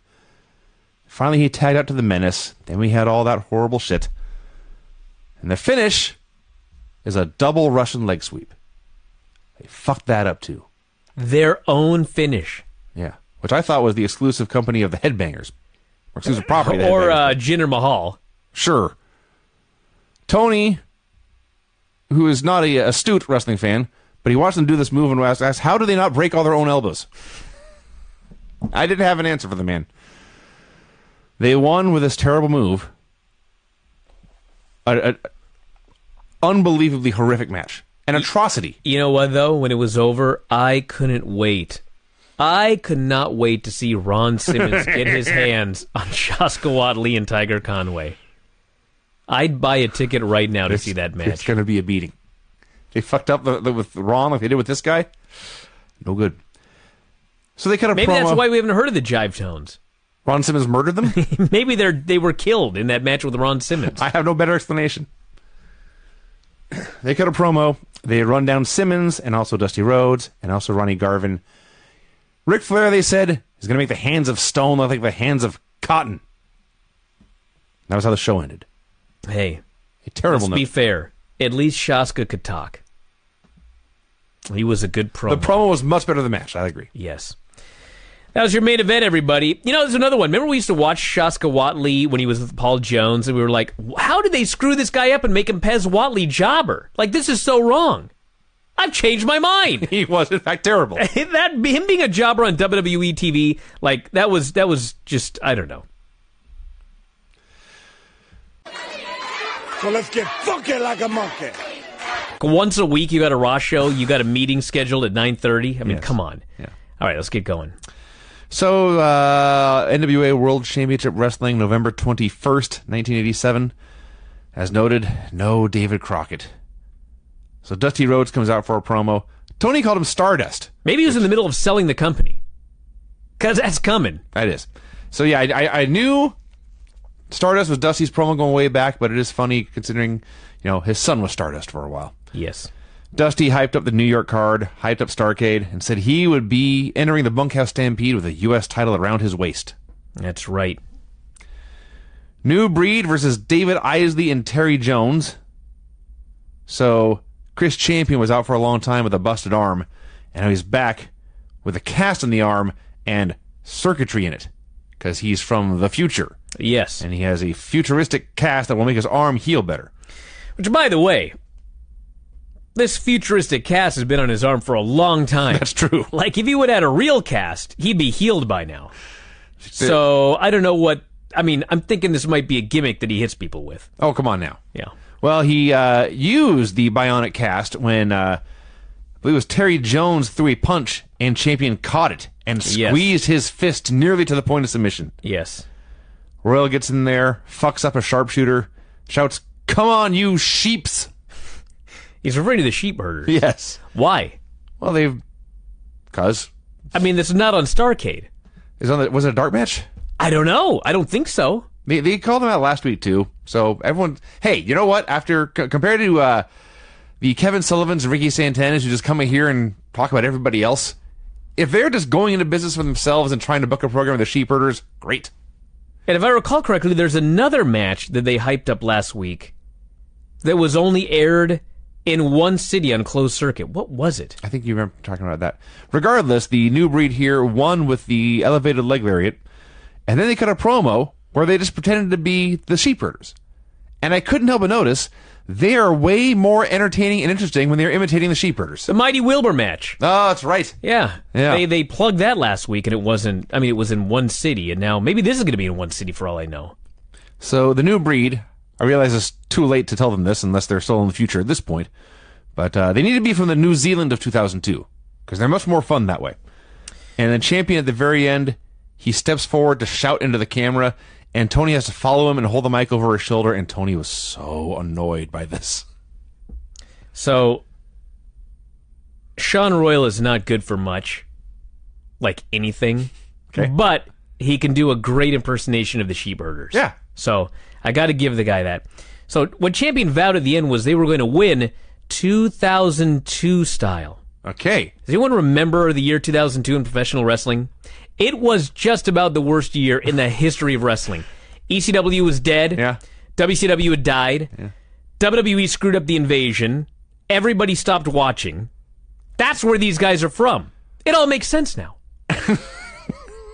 They are They were like, we got to get out of here. every bit as bad. gotta go back in time. 2002. I mean, think about it. In 2002, if you could go back in time, I mean, you go back to 87 Crockett. I would. That's where I'd go. Yeah. So they had it right. I think 2002 was the build up to the Triple H Scott Steiner Royal Rumble match, which was very bad, as you recall. That's the one thing you can remember that was bad in 2002. There's a lot of bad. How about everything? Okay. JJ Dillon and Lex Luger came out for a promo. They claimed they had flown to New York merely to visit the stadium or the arena Mm. where the show will be held next week. Well, this is where history will be made. Dusty Rhodes will retire for 90 full days. No, that's a Starcade. oh, They're talking about the uh, New York right. show. Yeah. The New York show. That's right. I'm sorry. So they plugged War Games, which JJ was sure to call the original Survivor Series. And then they go to Lex. I don't know what got into Lex this week. He was good. He was energetic. Yeah. He, I'm not sure he inhaled. His entire promo was shouting as loud and as fast as he could. You call yourself a legend? Well, I'm going to be at the legend. Over and over and over and over again. He's he's hit and miss, but he was he was on. He was certainly not boring. No, it was not boring. Mike Rotundo versus Tommy Angel. So I think it was with you. I'm virtually certain that it was with you. We were talking about Bo and Bray and how fat they are. Okay. And I brought up I brought up Mike I brought up IRS actually is what I called him. Oh, uh, the, the family tree. Yes. Because I once, yes. And you were like saying, well, you know, he was he was a little chunky or whatever. Mike Rotundo is in fine shape here. At this point, absolutely. And I was thinking about this. Like, he's no Lex Luger, but he's in way better shape than Bo Dallas. Yes. He's in way better shape than Bray Wyatt. Yes. What is their excuse? And I was thinking, I actually wrote, it's not like they're Rikishi's sons. And then I remembered who Rikishi's sons are. They're the Usos. Way better shape than Bo and Bray. That's also true. Why are they so fat? Well, you'd have to ask them. But Mike Rotundo, as noted, was in very good shape here. His last name was Rotundo, it's right there, rotund. but he wasn't. No. At The point. children are. He got fatter later. He got a little fatter, but he wasn't like he wasn't like Rotundo. He was not Rikishi. no. No. Regardless, here he had a very even back and forth technical wrestling matchup with Tommy Angel for three or four minutes, and in the in the end, he hit the airplane spin and he won. Not much to write about. That's all I've got. Not much. The Starcade Control Center. With Magnum TA. Magnum TA, my, my biggest takeaway from this is obviously Magnum has a very successful pro wrestler who was, you know, uh, forced to retire right when he was about to hit his peak. It was very sad, but the good news is at this point he has transitioned into being a very good TV guy. Sure, but he wasn't like he wasn't like a super regular. Like if it were WWE today and he was one of their big stars, like if he were Randy Orton, he got in a terrible accident, he could never wrestle again. Like if Randy Orton wanted to, he'd have been he could have a commentary job for the rest of his life. Yes. Like if this were today and Magnum were in WWE, he'd have a commentary job for the rest of his life. They put him in a suit. Mm-hmm. You, you can't see that he's lost a ton of weight. He's in a chair, so you can't see that his arm doesn't work. He doesn't have to walk. Great talker. Yeah, he doesn't have to to walk. I mean, he looked great. Sounded great. Sounded great. Did all of his predictions. Mm-hmm. So he ran through the. He he did do his predictions here. They, at first, they showed clips of. Actually, let's go back to the very beginning. First, they asked what it, uh, what it meant to be at Starcade. And he talked about what an honor it was just to be invited to that show. But then once you get there, success or failure on that show can make or break your career. Very important. They showed clips of his most famous match, the cage match against Tully Blanchard. at By clips, you mean literally about 10 seconds of this match. Yeah, it was They're a like, clip. here are some clips of your, your legendary I Quit match with Tully Blanchard. Clip, done. You know, because you had a little more than that. Could have Got two hours. They did have a two-hour show. They could have shown. They could have shown more. I mean, wouldn't that make you excited for Starcade to see that? Think to think about how great Starcade. Yeah. of a Starcade match. Legendary Starcade match. So here we go. Magnum TA's predictions. Yes. I hope you all write these down and compare to the actual results. Why? I, I do. I have all of the results. I won't give you. I won't tell you who won. okay. But I'll just tell you how he did in his predictions. I see. Well, why don't I'll run down the predictions and you get the final tally. yes. Okay. Picked Michael Hayes, Jimmy Garvin, and Sting, The newcomer Sting. He says. the newcomer Sting, to defeat uh, Larry Zbyszko, Eddie Gilbert, and Rick Steiner in the six man. Yep. Said Steve Williams would beat Barry Windham to retain the UWF title. He said, "I'm very good friends with both men, but Doctor Death has a slight edge." nice way to put it. It has. He said the Midnight Express would beat the Rock and Roll Express in the scaffold match due to Big Bubba Rogers' interference. Mm. He's going to climb the scaffold. Apparently. Good luck with that. So Tony's, you know, ask, rattling down off the list of matches, and he says Nikita Koloff versus Terry Taylor in the TV title unification match. And Magnum smirks. That's almost humorous. The NWA is always the best. Nikita Koloff's going to win. He was disgusted to even have to answer that question. He, was- he was insulted for sure. How can you even ask? The NWO is the or the NWA is the best. Of course, our man's going to win. His biggest surprise, I think, well, one of them, he said Tully Blanchard and Arn Anderson, the best defensive team I've ever seen, he says, mm. would retain the tag team titles over the Road Warriors in their hometown. Well, you know, he feuded with Tully. As he did. This man would know. And he faced the Road Warriors in the finals of the first Crockett Cup. That's right. And then the real biggest surprise, he didn't really pick a winner in Lex Luger versus Dusty Rhodes. But if you break down what he said, you could tell he thought Lex was going to win and just didn't have the heart to say it about his old friend. Said the young lion, Lex Luger, would come out, would be uh, too hard to stop. And finally, Ronnie Garvin would retain the world title over Ric Flair. So for the record, everybody, he got three of his predictions right Out of nine, out of seven. out of seven. And it's funny because as he starts as he starts giving his predictions, I'm like, he's going to get everyone right. And then I went back later and I thought, man, he only got three of them right. I just expected him to pick every single babyface. No, no, he's he's got to have his credibility because he's does. doing commentary for the show. And it's a sport. Yes. You must admit that the, your best friends can be beaten. Now later there were heels that picked all the heels. Yes. but he's he must Because he they did must, not need credibility. Yes, maintain his credibility. Yeah, Magnum was very good here. Sting versus Cougar Jay. These fans adore everything that Sting does. Yeah. You know, I was thinking like Sting. I thought that Sting was a Hall of Famer. There's a big debate: is he a Wrestling Observer Hall of Famer or not? He finally goes in, and you watch Sting, and Sting was never like great. Like he had some great matches, but he was never like a great wrestler. You never put him in like you know he was like a Flair. He was a- never the wrestler of the year. no, nothing like that. And I don't know anything about the guy. I could be reading too much into this, but I saw a young guy here who's in great shape. Mm-hmm. He's just started. He's very green. There's some things that he can do that look good. Mm-hmm. You know, Stinger Splash, the big overhead press, and all of this other stuff. And the fans absolutely, completely adore the guy. What was his incentive to get better? you know what I mean? Yeah. He was a star. He did just enough. Why? What was his motivation? No, that's a great point. He was already. That's all I saw during this match. He was arguably the most popular guy on the show outside of like a Dusty. Uh, they they absolutely of all the guys who actually wrestled, they loved him more than anyone. I did find it funny. Sting's uh, not his first great rivalry, but one of his most famous rival, rivalries was with Vader. Here, Sting did a Vader bomb, Yeah. and he kept on wrestling. Kind of sloppy, but didn't matter. Everyone loved him. He won with the Stinger Splash, and he gets to cut his promo. Oh my God! Another great crazy Sting promo. You know what he He- reminded me of? He reminded me of John Cena. Well, They, I mean, you know, they have similar physique, similar haircut. But the thing that reminded me of John Cena was he had some really stupid dialogue, but he was so over that it didn't matter. So much energy and charisma. He's calling Eddie Gilbert hot puff. Yeah, hot puff Eddie Gilbert. This More than death. once. This is absolute death. But every time he said it, the place would go crazy. The other thing about uh, that, that that's similar to Cena is that uh, there was a bit of humanity to him, and that he was not afraid to acknowledge when he screwed something up. Sure. He'd fumble over a line or lose his place, and he'd just stop and he'd slap the mat or he'd howl, "Ow!" and they'd all get into it. Like it, was better that way. So Not he- as good as Dr. Death later. But uh, he, did, he did a very good job when things weren't going his way. So he called out Hot Puff, said he was not afraid to lower himself to Gilbert's level. His good friend Dr. Death had brought him a new hold from Japan, the Scorpion.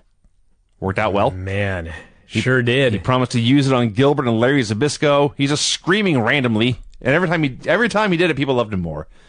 And then the last thing he said is like, "Rick Steiner, you've got no brains and very little brawn." Well, that's just a lie. that is an absolute lie. Barry Windham appeared for a promo. Nothing to say. He very quickly mentioned Steve Williams in the UWF title, and then said Larry Zbyszko could get a Western States title shot whenever he wanted. Kevin Sullivan versus Alan Martin. You know what I noticed during this match? What's that? Kevin Sullivan, at one point, gets on the middle rope and he does a karate chop.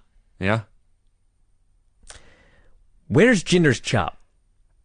I- I've named an entire year long segment after his chop. after his chop that he did on one show. Yes. That AJ Styles match in December. Well- he has never done it since. Think about this. He lost the match. I know, but come on, it's like the only good thing he did in all of 2017. Well, could have been that good. He lost and the he's match. taken it out of the out of the. he must figure, had I not done that stupid chop, I would still be world champion to this day. that chop did not lead to the finish, Vinny, I know. and that chop was effective when he did it. Hmm. I was disgusted. I watched Kevin Sullivan go up there, and I'm I'm pretty dang sure that he wanted Alan Martin to stay down. And he did the gets- Gran Naniwa rope walk, Basically, and yeah. then chopped him. Yes, he he gets up, and Martin's like halfway bent over, and Sullivan, Sullivan is like, uh, hmm, and he did that. Sullivan, uh, you know what I noticed in this match? Kevin Sullivan's legs are enormous. Well, so is his gut. Well, and yeah, his, his trunks were like you know rolling down. I he kept trying to pull. I'm pretty Ugh. sure the drawstring to his trunks broke. Is it was exceedingly unflattering. His cardio was not the best. He he was a powerful man, not necessarily lean. he lifted a lot of weights He sure did. and not a lot of reps. He did just enough to jump up in the air and come down with both feet on Martin and pin him. Yeah. So they go to commercial, and every time they go to commercial, there is the same music and the same graphic, and there's a clip from the last match in slow mo, and then some wacky catchphrase, like a fortune cookie almost at the bottom. What the catchphrase at this time said, "May I point out, the NWA is the best in wrestling." Yeah. If only they knew what was to come on this show. Well, you know, you got to take the good with the bad. Steve Williams versus Thunderfoot number two. This was the good. Eventually, You know what I loved about this is nowadays the German suplex where he dropped the guy into his head. It's like a spot. Oh my god, he dropped him on his head. And like sometimes the guy will sell his neck and be down for a long time. Sometimes the guy will jump up and fire up and everything like that. Doctor Death gives Thunderfoot. This is Thunderfoot number two, not a main eventer. no. He gives his jobber a German suplex and he lifts him up and it's a high angle and this Thunderfoot lands right on his neck. Just gets up, Yes. locks up again. What? Well, there was that. Then there was the fact that I think Williams watched the Mike Rotundo match. I thought I'm gonna go out there and have a good wrestling match too. And he tried to have an amateur wrestling match with Thunderfoot number two. So they do this spot. It is unbelievable. Dr. Death has him in a side headlock on the mat. The Thunderfoot grabs Dr. Death around the waist and he tries to bridge him over to, you know, do the cradle and then Dr. Death will just come back into the headlock Yeah, again. yeah, yeah, yeah. So he tries to pull him over. Dr. Death doesn't go. Thunderfoot's like, oh no, I'm pulling you over, buddy. And he pulls with all of his might. And he finally, it's like a shoot. He finally gets Dr. Death over. But Dr. Death's legs go a little bit too far. So Dr. Death can't bring himself back the other way to get the headlock again. So instead, He keeps going and does a shoot on the mat, headlock takeover, and flips Thunderfoot back over again. Yes. This was like a shoot. Well, in that aspect, I guess it was good. I, I thought it was No, it wasn't good. okay. It was enjoyable, entertaining, notable. It was, it was, it was, it was realistic, There you go. which is not always good. Eventually, Williams gave up on the wrestling match, just started powerhousing the guy around, hit the press slam, the running backdrop, and the power slam, and won. I thought this match was amazing. Well, that's, I can I can see why you would say that. Then in the promo. He goes to join Tony at the announce desk, and Tony says, "Ladies and gentlemen, Doctor Death, Steve Williams, or whatever." He holds out the mic, and Steve says, clear as day, "Excuse me, everyone. There is a piece of hair in my mouth." Excuse me, Tony. I had a piece of hair in my mouth. Yes. And if you saw his head, there's a lot of long hair there. This is not like he said it clearly, as in, you know, he says it off mic, but you can kind of hear him. Yeah. He grabs the mic, he looks right at Tony and says, Excuse me, Tony, I had a piece of hair in my mouth. He said it the way Miz says, "I'm awesome." Yeah. just, just shouts it right into the camera. Then he goes into his promo. He says, This match with Windham is going to be just like when Oklahoma played Nebraska in football. It's two great, uh, two great athletes. One of them's got to win. Only one can win. Either way, I'm going to shake your hand after the match. Now, it could be amateur wrestling. It could be a bar fight. I know everything about it. I know everything about both of them. But this is going to be a wrestling match. And oh, by the way, my money's on the dream. And he winked. He did note that him and Barry Windham were like friends. He did say that. He didn't say we are friends. He said we're like friends. And it was funny the way that he did his Dusty Rhodes thing. He says, whether it's a bar fight or a wrestling match, and it'll be a wrestling match, my money is on Dusty Rhodes. It was maybe they gave him the wrap up signal and he wasn't expecting it. I don't know. I guess. It was, there was definitely a wacky man. So here comes Ricky Santana. Hey, let's get the positive out of the way first. The man looked like a star, Okay, dressed like a star, mm-hmm. talked like a star. sure. Thank God he was not in the ring. There was nothing wrong with anything he did here. No. He comes out. He does what he always does. Thanks the fans. Thanks Tony for having on having him on there. He said again, "I predict Dusty Rhodes will beat Lex Luger. I predict Ronnie Garvin will beat Ric Flair." He spoke in Spanish for a while, but not so long to the point where he got booed. Thanked everyone again, and that was that. And he was done. It was fine. But for weeks now, he's been calling, not even calling out, he's been talking about Ric Flair. And Ric Flair has been warning him, don't talk about me. And he comes out here on the Go Home show for Starcade. You talking about dressing like a star. Let's list in detail what he was wearing white jeans, white buttoned up shirt, Excellent. and a, Shows off the tan. a jacket that was either white or maybe carnation. It was kind of hard to tell in the light. Regardless, this was an outfit meant to be bled on. And I was so giddy looking forward to Ric Flair and the Go Home Show for Starcade murdering this man. No. It never happened. Don't get ahead of yourself, Vinny. They're going to do Ric Flair as world champion versus Ricky Santana?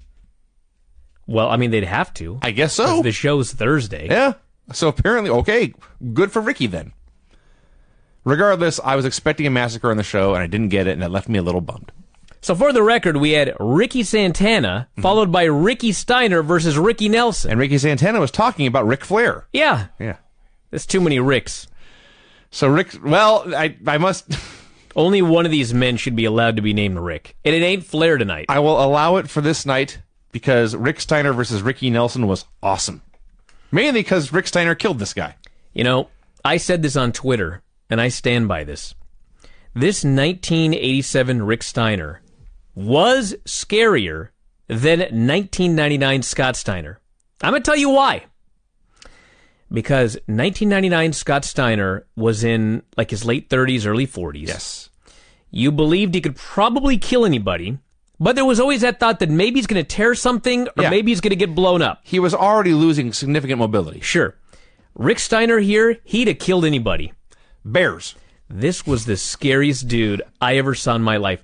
He Germaned this poor little fool, as That's you right, noted, yes. Ricky Nelson, right on his head. Ricky Nelson, unlike the Thunderfoot, did not leap to his feet. He was dead. He was killed. Rick gave him the most incredible power slam you've ever seen in your life.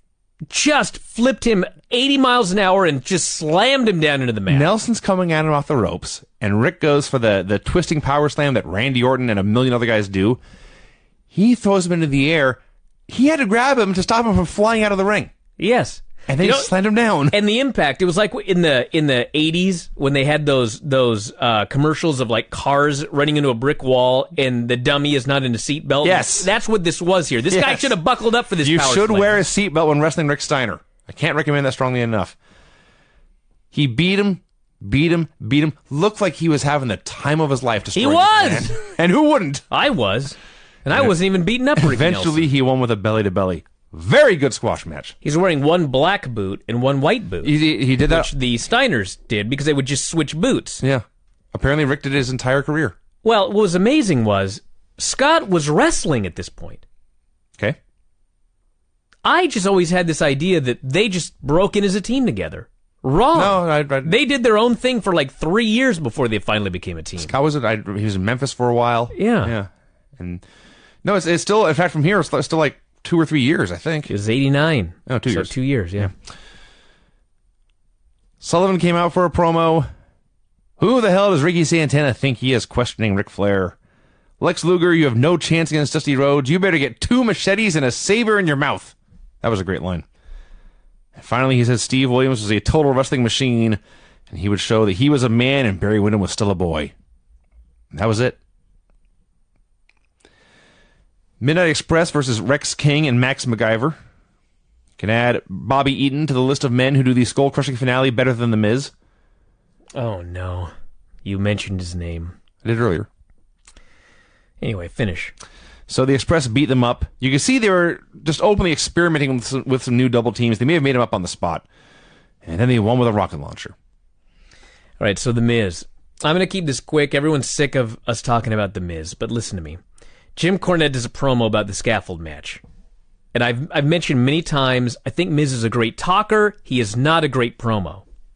I bring up things where he goes like, I'm the greatest Intercontinental Champion of all time. I've brought prestige back to this belt. Okay, listen, I grew up in the early 90s. You have not brought the Intercontinental title back to where it was in the early 90s.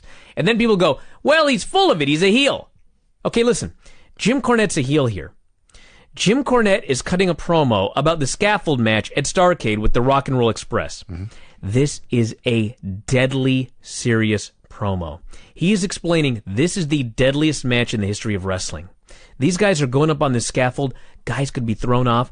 Can you look into a guy's eyes and throw him off a 20 foot scaffold, maybe to his death? This man has feelings. This man has a family. He is pushing this as a deadly serious match, and you, the viewer, are like, someone could die on Thursday. Like, this is a real deal, legit heel, big time, money drawing promo.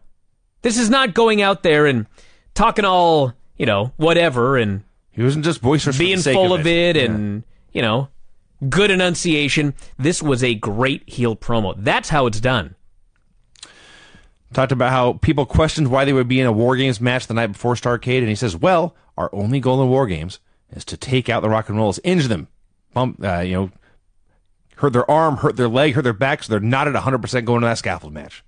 Because the scaffold match is mostly luck, he says, but we're going to make our own luck. And yes, he questioned the Rock and Roll Express at the killer instinct it would take to throw a man off the scaffold, knowing he would never be the same again.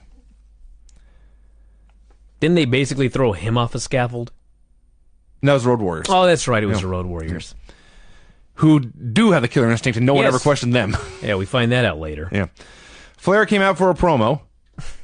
So he starts talking, and then they just cut away for a danger zone. Well, he's, he was pushing the tape. I see. He was he's got, he's got the VHS tape in one hand and the swimsuit calendar in the other hand, which he was open to Missy Hyatt because he wants people to buy it.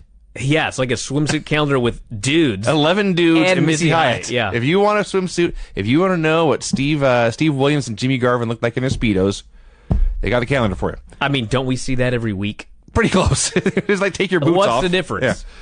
So they showed, I guess, clips from the tape. There's promos, there's wrestling action, and there's fans talking about how great it was, and then it's only twenty four ninety five. First off, we have to review this.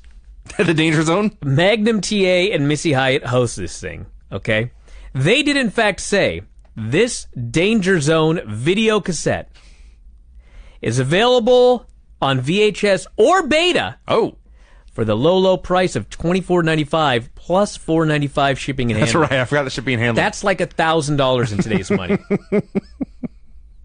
now I'm only being uh. mildly sarcastic. I actually found out. Do you know how much this was worth in today's money back then? How much, Bryan, in 2018 dollars would this have been worth? Sixty-two dollars and ninety-two cents for a one-hour video cassette and a calendar with eleven wrestlers and Missy Hyatt.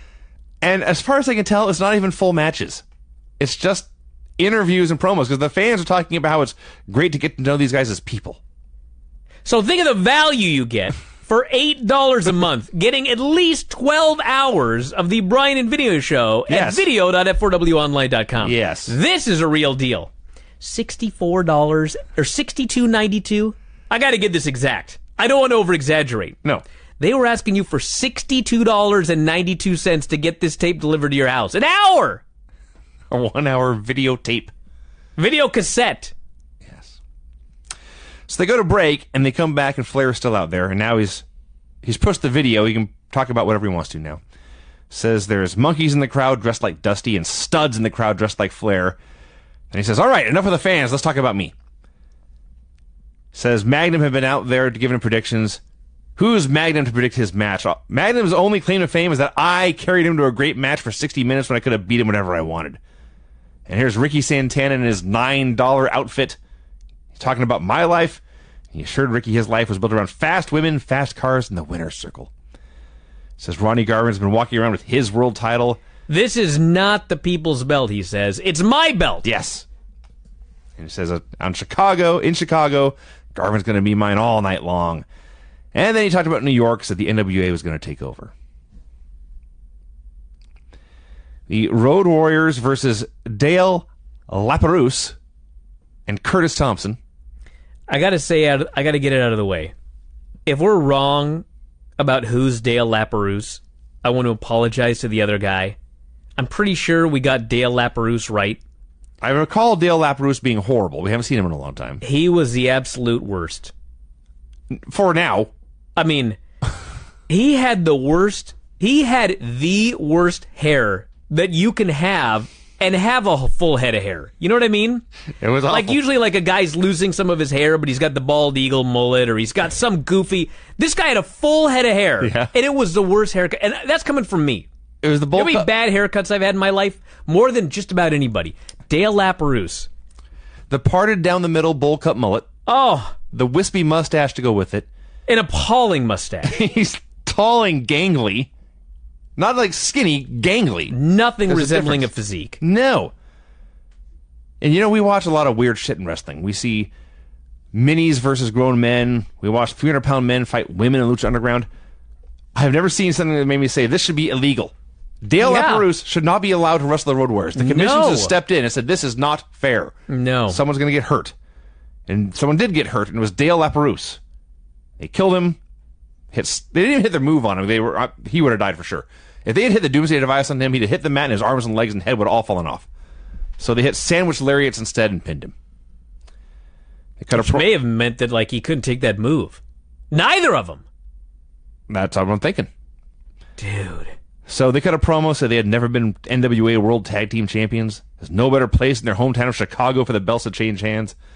Hawk says, you know, promoters pay big money for people to do stupid things. And these guys are paying the horse and the biggest money of all to do the stupidest thing of all, and that's get in the ring with us. That was a great promo. That was a great promo. Hawk is Hawk is more missed than hit. But this was a hit. Larry Zbyszko versus Larry Stevens. Four Ricks later, and they got two Larrys that have to be in the same segment here. Yeah. Larry was pretty good in this match. He was. This is. He looked pretty good in this squash. He did a little stalling. Not but- a ton. Nah, I mean it just he yelled at the people and yelled He, at the he- ref. he gave the guy a chance to uh to back out of the match. Yeah. Then he beat him up and says, "I gave you a chance, brother," and continued to beat him up. Yes. And eventually, he won with the uh, it was a sloppy neck breaker. I will assume that is Larry Stevens' fault. Tony claimed, and I quote, he almost jerked his head right out of the socket. Yes, That's a serious neck breaker. it is He almost jerked the guy's head out of his what, the neck socket? the head socket. I didn't know you had one of those. I guess the head must connect to something. There must be a socket The neck bone, I always heard. connects to the neck. The head bone connects to the neck bone. I was unaware there was a socket. Maybe that song wasn't accurate. So they go to commercial and they come back. I mean, it's pretty accurate. Okay. And Larry and Baby Doll's amazing 1980s outfit. Cut a promo. She's out there in black spandex pants and a black spandex top with a big, thick gold belt like a championship around her waist and a white, like a shawl over on top of it. And of course, her hair is just teased out to the heavens. So Larry is also insulted that Magnum has picked him to lose at Starcade. So Says, you look across the ring, I see two guys who think they're in a rock band and one guy playing trick or treat. Says Starcade is the deadline for Barry Windham to surrender the Western States Heritage Championship. If he doesn't, he doesn't surrender it to Larry or Baby Doll at Starcade, then Larry's going to come and get it. Said Barry had one weakness as a wrestler, and that's that he was too tall. Well, he said he had weaknesses. He had he had many weaknesses. He's learned from Baby Doll, and Yeah, he's yeah. going to give him a hint. One, he is too tall and thus has no leverage. That's right. And two, he's too tall and thus has no speed. I see. Okay, hold on a second. So, if I had a car, okay, and I had to lift the car, mm-hmm. okay, and I had a boulder, you got this? I think so. Okay. So if I took a really, really, really, really long board mm-hmm.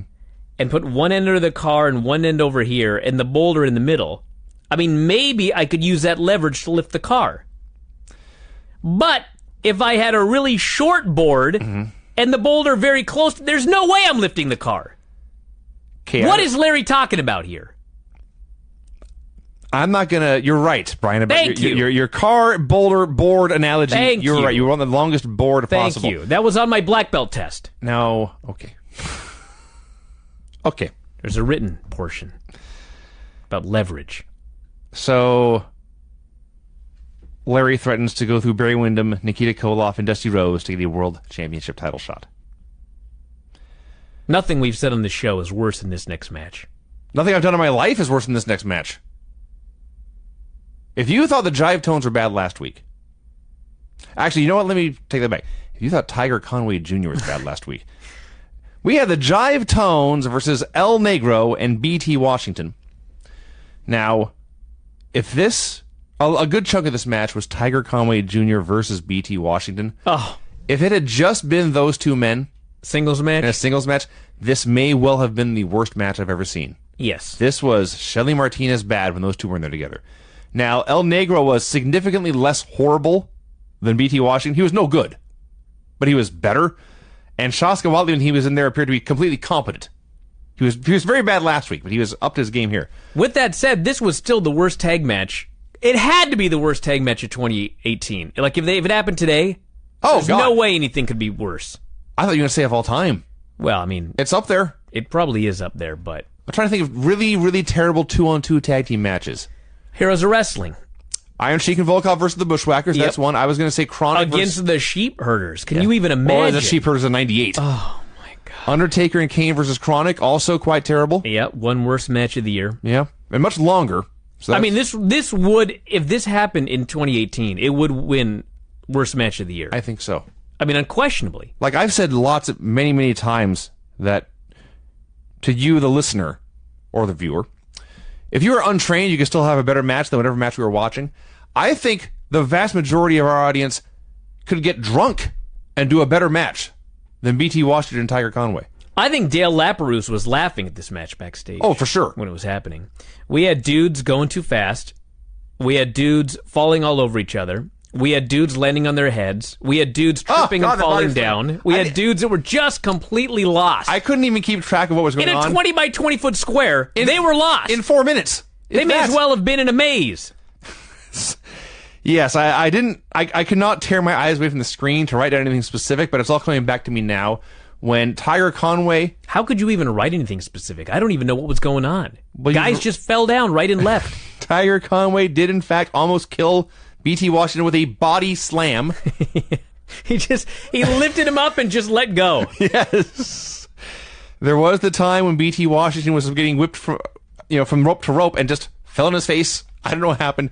It did seem like anytime anyone touched BT Washington, he collapsed. You know, it was funny because the guy was being whipped in. And usually when you lose your balance, it's like you take a few steps, stumble, try to regain your balance, stumble a little more, fall down. No. The moment he was whipped in, he just fell flat on his face. It would be like if a guy was skiing down a hill and just like you, you pull a tripcord and he just his feet hit it and his face planted. It was amazing. So yeah, it went on for a while. I, it was at at no point was it not horrible. Like I say, one of the worst matches I've ever seen. One of the worst tag matches I've ever seen. And eventually they won with the double leg sweep the Jive Tone Jive Tones did. And then you noted all Tiger Conway Jr. had to do, he's on his back, the other guy's on his back. All he's got to do is roll over and make a cover. That was too complicated. That's right, he didn't even make it over. No. It's like it's like when Ryback hit the shell shock, but he's not facing the hard cam, so he's got to float over. Tiger Conway floated basically to half guard. He got halfway over, maybe, and that's when they just stopped. Which, for those of you not familiar with jiu-jitsu, is just one dude lying on another. yeah, with he didn't even get his both legs over to the mount. No. There was speaking of that, there was a Tai Tuivasa fight this weekend in UFC with Cyril Asker, which uh, Are you making these names up? no, just went way too long. But anyway, Asker's just getting his he's just getting pounded on. I say he's getting his ass kicked. Well, he was. Ass curd. Ass He- curd? like two minutes straight, he's just getting pounded on, and the ref won't stop it. And he's just standing there, and he's just like going like this for two minutes as he gets hit over and over again.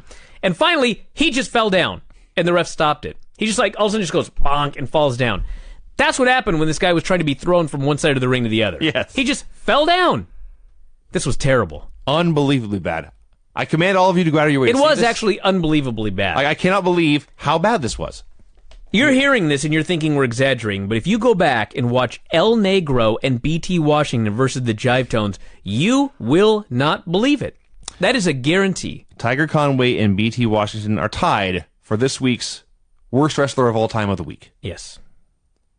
a pox on you. They went to get a promo, called out Ron Simmons. They dared him to find a partner, and this is just a bunch of guys who already had matches for Starcade. That was a good one. And it seems like they're done. They go both stop, and they look at the camera for a second, and they must have gotten the camera to keep going, or the signal to keep going, because they just kicked it back into gear. Claiming the best black tag team combination of all time. I'm quite certain that was not true even in 1988. Pretty sure they had to be the worst. They had to be. they had to have been the worst.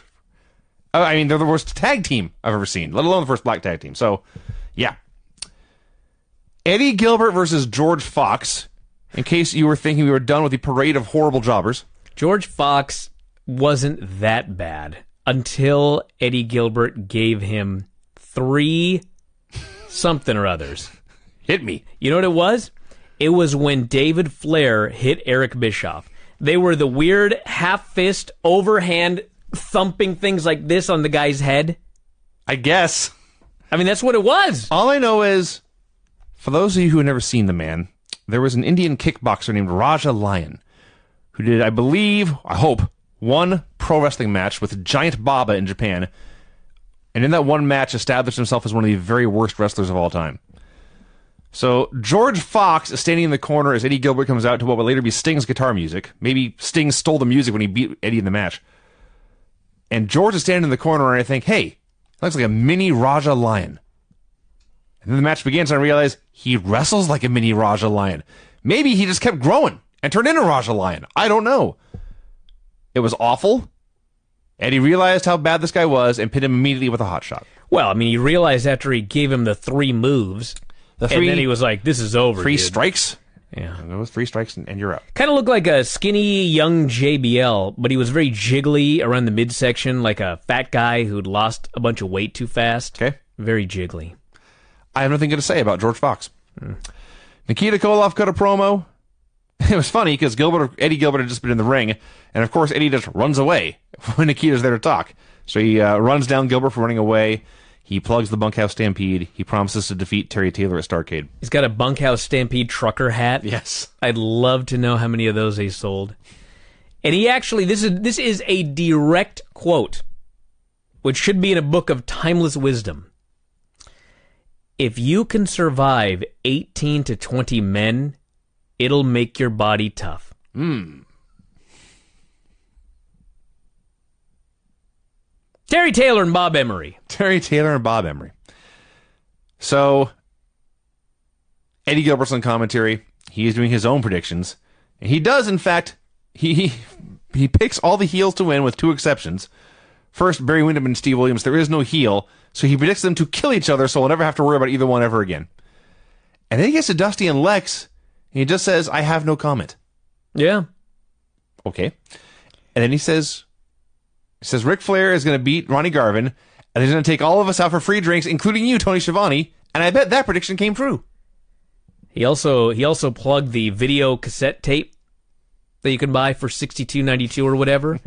and he said, I'm gonna take out Missy Hyatt after Starcade. He did say that. they were in fact together at the time, so So Bob Emery is pretty horrible, but he was like Mike Jackson compared to some of the geeks we've seen on he this had a good physique. He actually looked like a wrestler. That helped. That helped. It was a boring squash. Taylor won with a figure four. Then you go to cut a, pro- cut a promo, and Taylor goes first. And I'm thinking, man, I've been hard on Taylor. This is one of his better promos. He thanked his parents for making, for creating such a great wrestler. thank thank you, mom and dad, for doing such a great job. Yeah. With me. yes. And he said he'd be circling Nikita all night long. Nikita had talked about how hard it would be to fight, fight 20 guys in one night. Well, I'm going to be moving around you so fast you'll think there's 25 guys in the ring. I'm going to wear you out. I'm going to snap your legs with the figure four. I'll be done with you once and for all. Snap him like a toothpick. That's right. I thought, hey, that wasn't a bad promo. And then Eddie Gilbert goes and just blows him out of the water. Eddie Gilbert was in fact great. Terry Taylor wasn't. He's got this rep as being like a, a future star whose career was derailed by a horrible gimmick. He was a guy whose career was ruined by a horrible gimmick. Yes. So Eddie's talking about facing Nikita the night before Starcade in New York.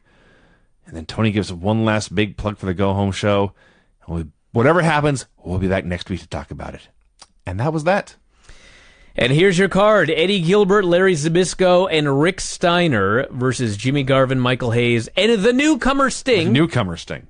Dr. Death Steve Williams versus Barry Windham for the UWF heavyweight title. Mm-hmm. Rock and Rolls versus the Midnight in a Skywalkers match. Yes. Scaffold match. Nikita Koloff, Terry Taylor for the NWA and UWF World Television Champions Championships. First ever in wrestling, they said. That's right. Arn Tully versus Road Warriors for the NWA World Tag Titles in the Road Warriors hometown. That's right, too. Dusty Rhodes Lex Luger in a cage match for the NWA US title. With Dusty's career at stake. That's right, 90, 90 days. days. His 90 day career. And Rick, because, you know, 90 days, everybody will forget about Dusty. Dusty who? He will no longer be able to have a career. Dusty. Hmm. And Ric Flair Ron Garvin steel cage match for the NWA World Heavyweight title, which I guess this is And there will be gorilla shit all over the Omni. The show was new. and they got rid of Ron Garvin as the champion. I think that's the biggest issue here that we've that we're facing. That helped a lot. Yeah. Well, let's get going. Well, on that note, the first thing they showed was just Ric Flair going to the ring with his music playing. That's it. Nothing else needed to be said. I thought they were going to show us that Ric Flair video for the 9,000th time. that Nope. We've seen 80, like twice per show for a year. Yes. No, I'm over it. This was just his entrance from Starcade. He came out playing the 2001 song, wearing his robe. He was the greatest wrestler ever. It was very clear. And if you missed Starcade and you tuned tuned into this show to see what happened at Starcade, this entrance alone should have made it very clear. Ric Flair won. They go to the announcer, singular, Tony Schiavone working solo this week, and he opens with the big news. Nelson Royal is the new junior heavyweight champion. That is literally what he started with. Yes. I could not even believe my eyes. What's happening over there? Tony's dropping. Sounds like there's an earthquake going on. He heard So- Nelson Royal won the title and he just he world stopped. beset with a fit of apoplexy. That's what happened. Uh, so then he did get into uh, all the other title changes at Starcade, and up stepped Nikita Koloff with two TV belts. You said Terry Taylor was his one of his best opponents up there, uh, best opponents ever, right up there with Lex Luger and Magnum TA. But now it's time to move on to the Bunkhouse Stampede. He will have to prepare to fight twenty, maybe twenty-five men in a night, and then he left to go prepare. You know what the fuck's going on with this stampede here? Like no one knows how many guys are in it. Jim Cornette later does an interview. He has no idea how much money's on the line. Right. Like nobody knows anything about Well, the Stampede. Part of it is because the, the, the Stampede gimmick was there would be a battle royal at the end of every show. And I winners see. of all the battle royals who go on to the finals. I see. I see. So some nights there might be 20. I forgot about that. Some yeah. nights there might be 25. I did think it was funny that as the show went on, they always added more people to the match. It never went down. Yeah, nobody knows what's going on. Yeah. It's like they're booking on the fly. It is. I'm sure they got some sort of plan, but when you watched it, it sounded like they didn't have a plan. Mm-hmm. That's all I got out of this. The Rock and Roll Express versus Trent Knight and Larry Stevens. We had new generic music for the Rock and Rolls, and I think it may actually have been the music they were using at the time. Hmm. I think they got their own generic music here. had a revelation during this match. So, if you remember, if you watch any of these Rock and Roll Express matches, they always give their opponent something. Mm-hmm. Right? Yeah. Road Warriors don't. No. Road Warriors go in there, they smash guys. A lot of guys would go in there and they would just smash guys. I was watching this match and I finally figured it out. This sounds ridiculous, but this is what it was. They would give the jobbers a spot so that they could then do a great tag team double team spot. Yes. They were learning to be a great team while doing these squash matches. Sure. Do you remember when Dave Batista was the Leviathan in Ohio Valley? I do. I do. He's a big, jacked up, freaky guy, going in there just smashing dudes, working like a big guy. Mm-hmm. Gets called up to the main roster. He's he's just he's he couldn't figure it out. He was one of the only guys that did not have good things to say about working for Ohio Valley Wrestling. That's right. He felt they didn't train him mm-hmm. to be a guy who goes back and forth. Yeah. Because when all you do is squash matches, it's hard to learn how to be a worker. Sure. So anyway, I thought it was cool. Rock and rolls go in there. They give the jobber just enough to let them do a double team, and then they cut him off. Yeah.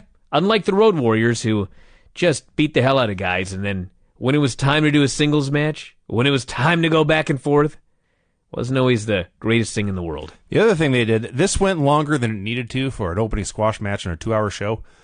But uh, the rock and rolls, they would do headlocks or chin locks or arm bars, but they wouldn't just lie there. They'd crank the hold on, they'd lean left, they'd lean right. And if they went like 20 seconds and nothing else to do, screw it, we're just going to let go of this hold and do something else. They were not just, you know, time never froze in this match. There was always something going on. So it was fine. It went longer than it needed to, and they won with a double dropkick. So their match ends, the bell rings, and if you never watched the show, the interview podium is just about 20 feet from the ring, maybe. And as soon as the bell rings, here's Jim Cornette, the Midnight Express, and Big Bubba to cut their promo.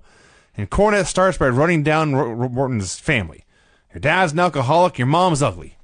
But the Rock and Rolls have nothing to win. There's, they're outnumbered. They just walk to the back. So Cornette moves on. Says Bubba, of course, in the uh, the Bunkhouse Stampede last year, he won more money than anybody else. He didn't win the most matches, but he won the most money. And money was more important. He said, I still haven't figured this out yet. I, I How do you win the most money but not the most matches? Like some are more valuable than others? apparently uh, It was almost when Cornette was talking about it, it was almost like everybody chips in money. maybe it's a percentage of the house. Well, I'm saying like everybody. It's like everybody puts in a hundred bucks, or you know, it's wrestling, a thousand dollars. Everybody chips in a thousand. The winner gets the pot. Yeah. So if you have a thirty man, it's more valuable than a twenty man. Sure. So that could be a way to win the most money, but not win the most matches. Yeah. Where is David Crockett to explain this to me? Otherwise, Where's this guy been? We are left to draw our own conclusions and make our own guesses. Maybe it's based on the house. Maybe it's best on, based on the numbers. Maybe it's, maybe it's based on time. The faster you're in the battle royal, the more money you get. I don't know the answer. So Dusty Rhodes is the new U.S. champion. As far as Cornette's concerned, Stan and Bobby, the U.S. tag team champions, a much better representation of America. Maybe one of them is going to take that U.S. belt from Dusty. The best part of this is it, it's Cornette ranting and being a lunatic. It's Big Bubba being the statue behind him. And here's Stan and Bobby, as relaxed as can be. Stan's like leaning on the podium with his arms crossed, and Bobby's just standing there, probably waiting to get back to chew, chew some more tobacco. And they're just fucking with each other silently the entire time. what the hell else do they need to do? They had nothing else to do. That's what we got Cornette for. That's why everybody needs a manager. Yes. But it made them seem cool because they were totally at ease. Michael P.S. Hayes and Gorgeous Jimmy. is how the gra- graphics read. Do you know how many times on this show I have said, you know, why aren't the gladiators teaming up? Yes. Why aren't the thunder foots or Feet or whatever mm, teaming up? Yes. Well, fucking on this show, we had it happen twice. We had both gladiators in a tag match here. No, no, no, no, no. I mean, you're right, but for some reason, they're not the gladiators. They're Gladiator 1 Yes. and Gladiator 2. That is true. We've never seen a Gladiator 3. No. I mean, there's no proof there's more than two Gladiators, mm. but they were very specific. It's Gladiator 1, Gladiator 2, and Thunderfoot 1 and Thunderfoot 2. That's true. That one I can see. Because what are Are they Thunderfoots? are they Thunder Feet? Feet? What the hell are they? So it's easier in that to say Thunderfoot 1 and 2. But this could have been the Gladiators. They didn't want to do that. It's Gladiator number one. Gladiator 1, Gladiator 2. and again, I hadn't thought that much, but yes, they are teasing perhaps the arrival of further gladiators. Could be. There could be a hundred gladiators. So the Freebirds, as uh, they were pushing this actually before Starcade, but even harder now, they are the new top contenders to Tully Blanchard and Arn Anderson for the world tag titles. And they beat up these two gladiators, and Jimmy won with a brainbuster. Yeah, top contenders for the world tag team titles. Can you even imagine? Sure. I, I guess. Somebody has to be. uh, you know, I just think of all the great tag teams, and I mean, they're not bad. But I would never say that one of the great tag teams of all time. I mean, one of the great acts is the Freebirds. Mm-hmm. But can you really say one of the great tag teams of all time is Michael Hayes and gorgeous Jimmy Garvin? What you can say is that of the babyface teams on this roster at this time, they had gone the longest since their last loss. I guess so. Pretty sure, you, I believe you can factually say that. And you know, I never thought about it, but that scaffold match was not for the titles. No, it was a non-title scaffold match. yes, they risked. they're- It They, was a non-title match where you win by throwing your goddamn opponents off a 20-foot scaffold. You risked your life, Maybe careers, killing them. Yes. I would think the title should be on the line. Well, I would counter that the uh, championships should go to the best wrestling team. Uh, No, no, no, Vinny. Let's say you and I have a scaffold match, Mm-hmm. okay? And I'm the white. Actually, you're the YWF champion. Sure. Okay. Why would we have a non-title scaffold match? Because if I throw your ass as champion Mm-hmm. off that scaffold and you fall 20 feet, your career's over, buddy. Oh, there's that. You'll never be able to defend the title. Right? Uh, they did. They've they lost the match, the match and came back and wrestled here. Well, they're not you. They are not. Yeah. I'm just saying clear. that someone could be seriously injured in a match like that. I feel true. that a championship should be on the line. That's very my true. thought. So they show the finish of the Alex Luger Dusty Rhodes match from Starcade. Like the last five minutes. Dusty won, as we recapped. They go back to the studio, and Tony gives. Hold on, I got to talk a little bit about this match a second time. Can you believe how much they showed of this fucking It was horrific kind match, of amazing. dude? Like They, they showed five minutes. Okay, one minute was exciting. Mm-hmm. the end. There were four minutes of fucking nothing happening. Now, with that said, the five minute version was better than the 16 minute version. Sure. I will give them that. I'll also say, and this is kind of proving your point. I realized technology was different in 1987 than it is in 2018, but they had 48 hours to make a highlight package out of that match. No. But they just showed the last five minutes. Just showed the Start last- at point A. And Dusty's DDT was not nearly as impressive the second time around. I thought it was cool the first time. Then they showed a replay and I was like, you didn't even leave your feet. feet. just fell down. You pretended to jump and didn't. You're like the mighty Wilbur. We'll get to him. So Dusty wins, and they go back to Tony in the studio. He says, "Folks, I've been around this sport for four years. I've been around. It's been a rough four years covering this business. Four years? Yeah. And he says, I've seen these men in, in the ring, out of the ring. What you're about to see is a side of the dream that not many, not many people have seen before, but I have. And they go to a press conference. Did you get that, Tony? A press conference. Okay. Uh, He so- wanted to make sure you got I got that finger part quotes. of the. You know what it was? It was a Bellator or Strike Force. Does Strikeforce not have press? at the Well, there press was a show I went to in Everett. I've told this story before. I think it was Strike Force. I'm pretty sure it was. But after the show was over, like it was me and one other guy in the press area.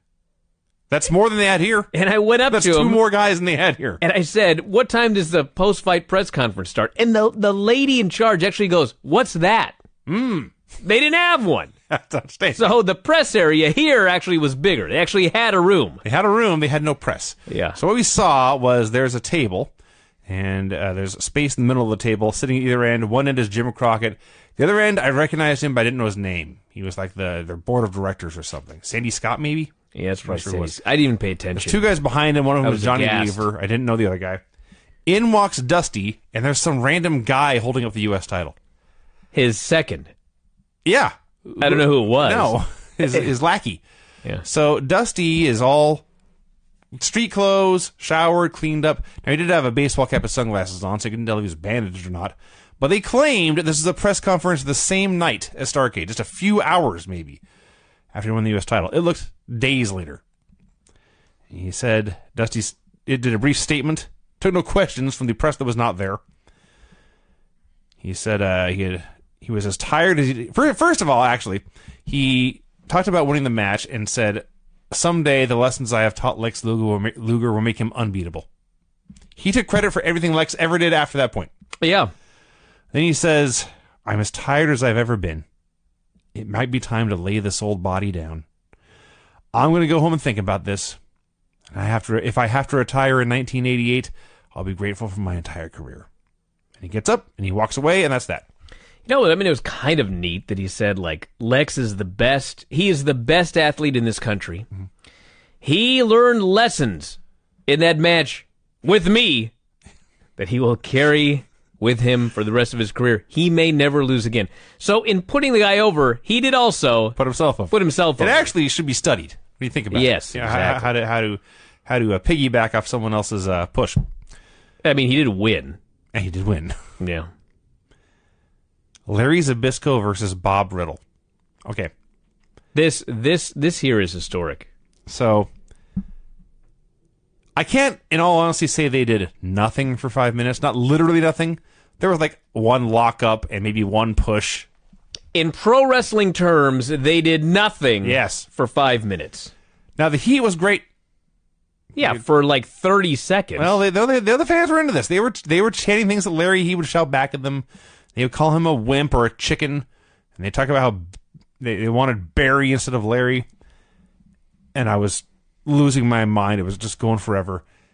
And then they started to wrestle. I had a whole new appreciation for Larry Zbyszko and his ability to fill TV time with absolutely nothing to work with. yeah. Bob Riddle, the worst wrestler of all time of the week, and it wasn't close. He fucked up every single thing they did, including the neck breaker at least twice, which is Larry's finish. So he tried it, they got fucked up. He tried it, they got fucked up. Tried it at least a third time, hit it, won, and moved on with his life. Hopefully, hopefully to never wrestle Bob Riddle, Riddle again. So to recap, mm-hmm. they did nothing for 5 minutes. Yes. They had a very brief heat and then Larry had to do his finish at least 2 times. Mm-hmm. I saw it 2 times, could have been 3. And then got the win. Yeah.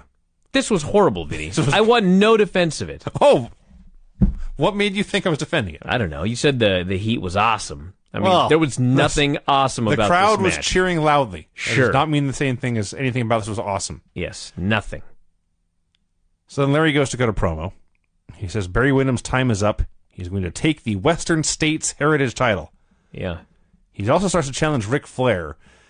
This this was actually this was awesome, legitimately awesome. He begins to challenge Ric Flair, but Baby Doll interrupts him. "What about Dusty Rhodes? He's the U.S. champion, and I know everything about him, how to beat him." Because you see, Larry is Baby Doll's pawn. Baby Doll has brought Larry in to get revenge on Dusty Rhodes. Yes. And she does not want him bothering with Ric Flair. He is there to challenge Dusty Rhodes. Even Windham, even the Western States thing, even that she just wants him to use as a stepping stone to get to Dusty. I love when she said that Dusty wasn't, I quote, easy meat. Well, I didn't catch that until right oh, now. I did. But You caught the important stuff. I caught easy meat. Oh, I disagree. I think you caught the, the, the most hey, speaking of meat, entertaining part. Hmm? it's actually cheese. So we had the moment on Thursday's show. We did. Okay, I've got to, I've got to clarify this, Vinny. You don't understand.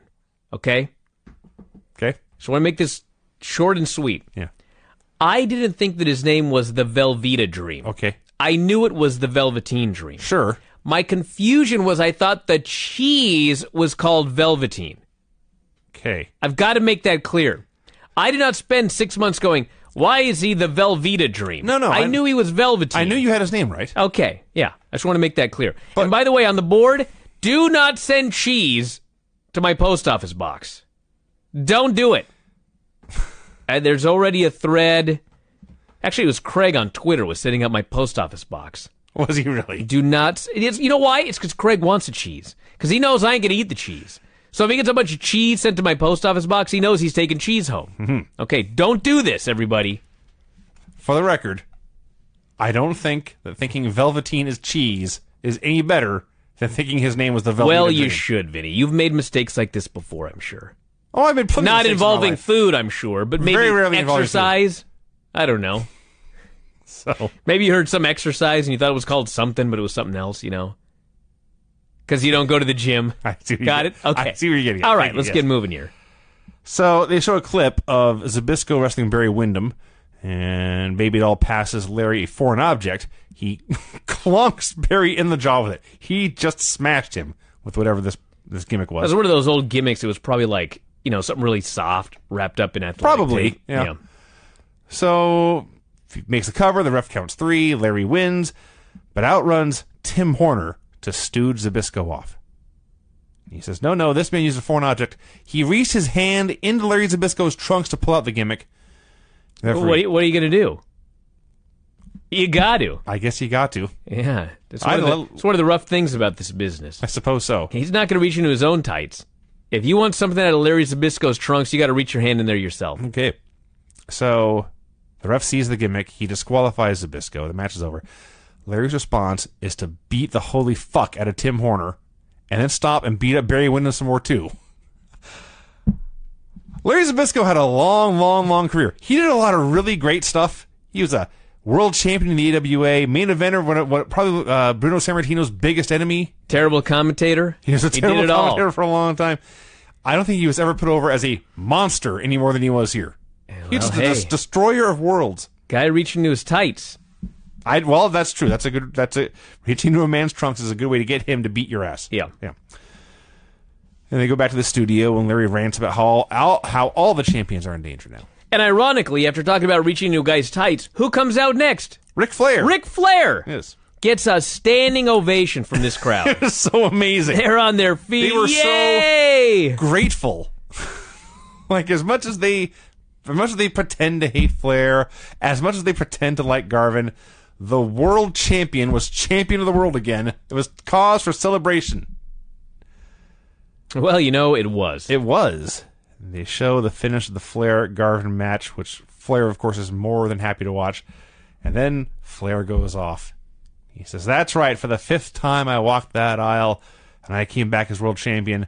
And now I promise to be more obnoxious, more overbearing, and I'll teach everyone to learn to love it. Says he, des- he destroyed Ronnie Garvin. Tully and Arn destroyed the Road Warriors. Lex Luger suffered a minor setback. Nothing he can't fix tomorrow. Talked about how great all the horsemen were, said he's the captain of the team, and Lex, the captain, still got your back. He added he would not be surprised if Dusty retired because nobody would want to wrestle. Uh, nobody would want, would want to wrestle Luger twice. You know, this is an astounding fact. Later, Ron Garvin talks about how he'd been champion for it was like two months or something like that. The ratings for this fucking show when Ronnie Garvin won the title, they were slashed by forty percent. It's amazing. Okay, let me explain how amazing that is. Raw is doing about 3.2 million viewers on a good week. This would be like over the course of two months. They fell from 3.2 million viewers to 1.92 million. Yeah, that would be bad. So when Flair came out here and he vowed to be more obnoxious than ever, and he vowed to be more overbearing, make us all learn to love it, I was like, he's telling you to tell your friends to watch this fucking show again. Yeah. Because the horsemen are back. Yes. Ron Garvin is no more. Luger's minor setback. To be continued. Oh, yeah, it'll be continued, all right. Sting versus David Isley. Is Sting regressed? I was going to say, was- what the fuck? in all seriousness, was this the worst performance you've ever seen Sting do in a match? Funny you should mention that. I just today rewatched Sting versus Jeff Hardy when Jeff was inebriated. Yes. Okay. I never watched that match a second time. Mm-hmm. I like I would get the TNA pay per view and it was gone. Sure. Like I'm done with this show. Mm. I watched this again. Jeff Hardy, like at the time, I didn't realize how fucked up the guy was. Okay. Cause it's Jeff Hardy. Yeah. He's always a little weird. Sure. Okay.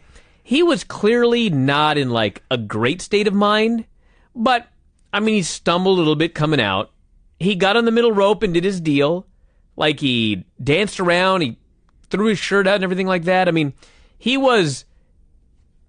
I've seen a lot worse. Okay. Let's just put it that way. I may have been in the ring with worse. Sure. But man, you look at Sting, this fucking guy's so mad Oh yeah. the look on his face, he is furious, okay? What I don't remember is the match isn't really even that bad. I mean, they lock up, it goes fine. Sting kicks him and kind of bulls him into the corner, and Jeff does everything like he would normally do. He's. I don't even know how to explain it except to say that for those of you that think this is the most like appalling performance in a guy's that they've ever seen, like watch more wrestling. Yeah. This ain't even close. Yeah. Like some of the Kerry Von Erich matches we've seen Yes, from, they're yes. way worse than Jeff was. But fucking Sting grabs a guy, hits the reverse DDT. What I don't remember is that Jeff tried to kick out. Oh, yeah. and Sting just shot held him down. Yes. it's the funniest thing I've ever seen. Sting He holds an amateur win over Jeff Hardy. he does. The only amateur, crazy. The only amateur wrestling match he ever had Yeah, is the uh the the, the shoot. And man, that was he shoot. Sting fucking shoots on this guy basically to win the match, and then he just gets up and stands there, and Jeff's all mad, and Sting doesn't like leave the ring because maybe there's going to be a problem. Oh no. He just stays in the ring like, dude, if there's a problem, I will fucking punch you, dude. Yes. I'm not a shooter, but you know what? You're not a shooter, and you're fucked up. Exactly. It was awesome. I mean, it's complete bullshit. It's like a terrible moment in TNA history. The, I think about that. yeah, it was There is amazing. a point as Sting is going up the ramp and his music playing, and you hear fans shout, "That was bullshit!" And Sting turns and says, "I agree." Yeah. Now, And man, you see Borash doing the ring intros, and boy, is he just morose. He had to know. oh, everyone knew. He's like his head's hanging down, and he's like, "The following contest is scheduled for one fall." he knows that whatever is going to happen is not going to be good. they send out Eric Bischoff just to get punched. Like, hey, this will make everything better. Wrong. That was amazing. But anyway, that was better than this match. Yes. It could have been David Isley. No. I mean, I'm sure no, some of it was. I mean, he didn't help, but No. no. Sting was horribly sloppy here. Yeah. He had no idea what he was doing. He didn't seem to care.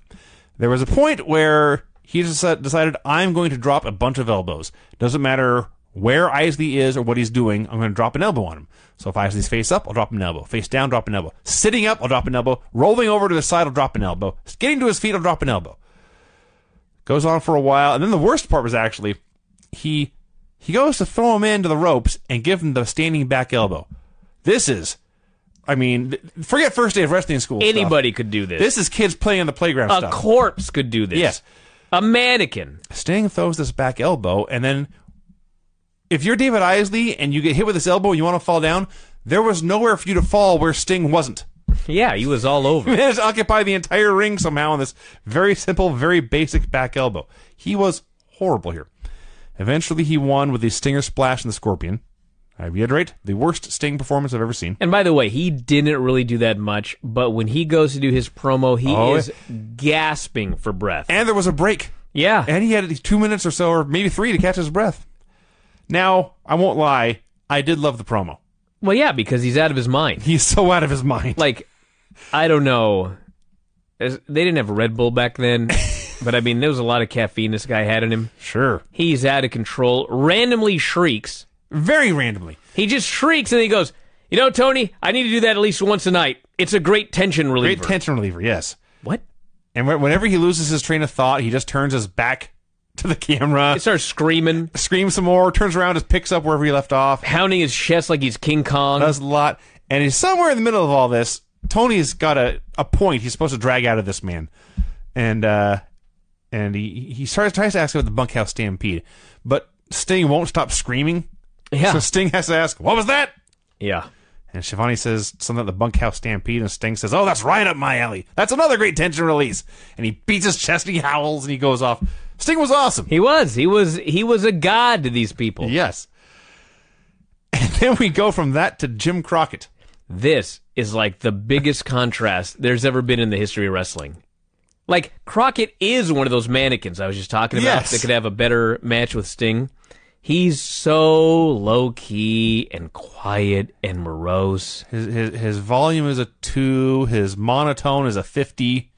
He speaks like this. He talks about Dusty Rhodes. I was very surprised he talked about retiring. I was stunned. I almost fell out of my chair. It did. I didn't believe him. I'm sorry I used so much life. Would you like me to try again? You may do your best. I almost fell out of my chair. Nope. You still Can't do it. You cannot. You you, you I need a dead body. yeah. Or a speak and spell or something. I've had long talks with him. That was closer. Midnight Express versus Thunderfoot number one and Thunderfoot Oh, he did say two. Friday Oh. afternoon, Dusty went to the Bunkhouse Stampede press conference, so he did return to do something. He will be defending his title at the Stampede. But that's all I can tell you. That's all I know. We'll find out more later. Yes. Midnight Express versus the Thunderfoots. Cornette does this promo. We are so desperate for competition, he says. We weren't getting any competition from the other side. We had to go into our own locker room and take the Thunderfoots, former Central States Tag Team Champions. Wow. Were they really? That's what he said. Oh my god, hold on.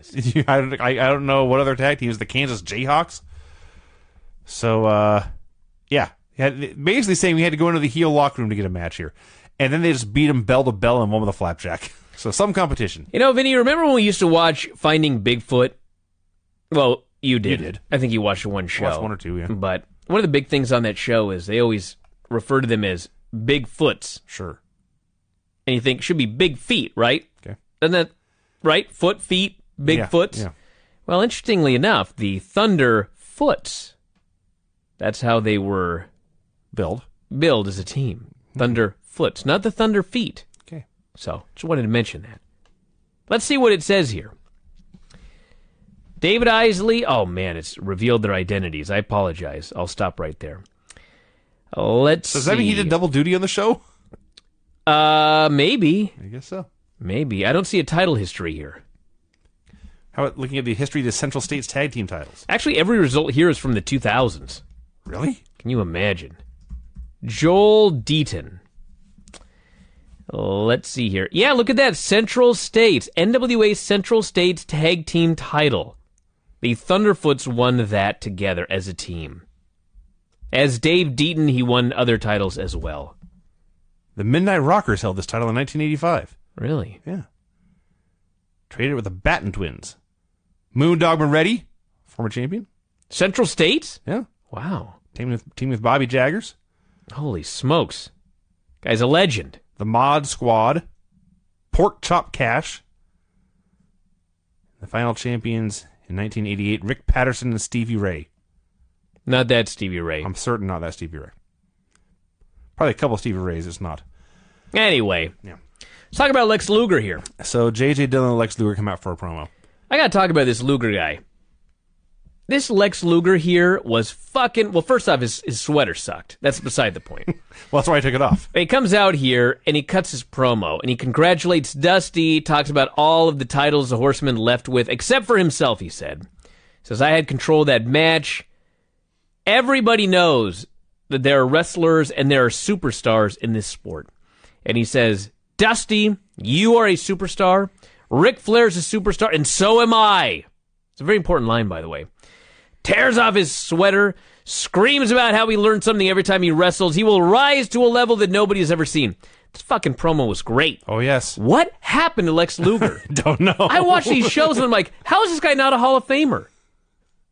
He he was great. in And you know what? We watched the 90s and he was so fucking over. Mm-hmm. Like those early Nitro shows. Oh yeah. It's crazy. What went wrong? He uh, was over in that War Games we just watched? Mm-hmm. Remember the night he beat Hogan for the title on Nitro? Oh my God, it was insane. Yes, and this this was a amazingly great promo, and it had to be because this was 48 hours after losing his first title. Yeah. He had to uh, redeem himself. He had to uh, reestablish himself. He had to recover. He did great. He was as big a star as he was here, maybe bigger than he had been when he won the title. So great, great work on his part. I also like when he he takes off his shirt and flexes and says it's time to show off the merchandise. Yeah. It's always a great line. Steve Williams versus Tommy Angel. May I? Sure. Far be it from me to criticize Dr. Death Steve Williams. But he went for way too many covers. He's in there with Tommy Angel. He covered Tommy Angel like three times, and Tommy Angel kicked out. Sure. And I was like, do you realize you're weakening your own character and your own performance and your moves and everything? Why is Tommy Angel kicking out of anything Dr. Death does? He should have walked in there and smashed this guy and then beat him. Instead, he's like, he rolls him up. I like Tommy Angel kicks out. Yeah. He goes in there, and Dr. Death's whole thing is he does terrifying power spots and he does football stuff because that was his gimmick. That about covers it. Then he gets in here and he begins doing arm drags and drop kicks like a luchador. And they look good. He's grabbing this guy and throwing, throwing him around by the arm. But it was, it was strange to watch Dr. Death wrestle like this. And eventually he hit a press slam, a football tackle, which Tommy Angel somehow managed to fuck that up. Then he hit the stampede and won. He also got a promo. And in Steve Williams' mind, there is no controversy in his title match with Barry Windham. He had done what any athlete would do with gold on the line. Talked about football teams doing whatever it took to win. He did whatever it took to win. Offered Windham a rematch whenever he wanted. And then he moved on to the bunkhouse stampede. So there might be 30 or 35 men in one ring, and it won't matter. I'll come out No on one knows. No one knows. it's a great mystery. What's going on here? he said, in his words, he was the fossil of the UWF. Yeah. It's dead. He's a museum piece now. Yeah. But he's a champion. But he was still a UWF champion, and he could still prove how tough he was. yeah. Ronnie Garvin came out for a promo. Oh, man. Uh, you want to have this one? I will. I'll just do the beginning. This had to be a rib. Ron Garvin stands in front of us. His first interview since losing the NWA World Heavyweight title to Ric Flair, clean in the middle of the ring. These are his exact words to begin this promo. He says, Well, you know, Tony, I can tell you, I had a bad ankle, bad ribs, I had a fever, I had the flu. But I ain't gonna make no excuse because I was perfectly healthy. I felt good. That's what he said. What? I mean, first off, first off, he's talking about how he doesn't want to make any excuses. But he begins with a litany of excuses. Four excuses. A bad ankle, bad ribs, a fever, and the flu. Then he says, I'm not going to make any excuses. And then on top of that, he says I was perfectly healthy. I think. He's a babyface. Okay. What's happening? I, I, I understand why you are confused. He did a poor job of delivering his message. You I- sound like you're going to defend this.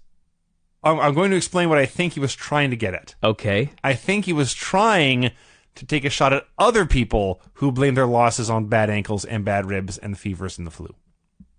He said, I could say all these things, but I'm not going to. Uh, huh. Well, he didn't say that, Vinny. But thanks I did my best. for trying to save. Did we mention his horrific- outfit? Oh, I am. I'm still. I'm still hung up on Luger's sweater. So, Oh, Luger's sweater was nothing. and then Sullivan's shirt later. So Ronnie Garvin just lost the world title 48 hours ago. Comes out here and he and the whole gimmick was he was every man, but he before he was every man who like would at least do laundry. He's out here in this trucker cap. It's got the U.S. flag and the Confederate flag. Uh, It says American by birth, Southern by the grace of God. He's from Canada. He's also got the big thick denim vest over his polo. This is this does not look you like didn't like it?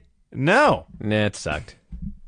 So he says when a football team loses the Super Bowl, they can fire the coaches and all the players, but he's got no coach and he's the only player.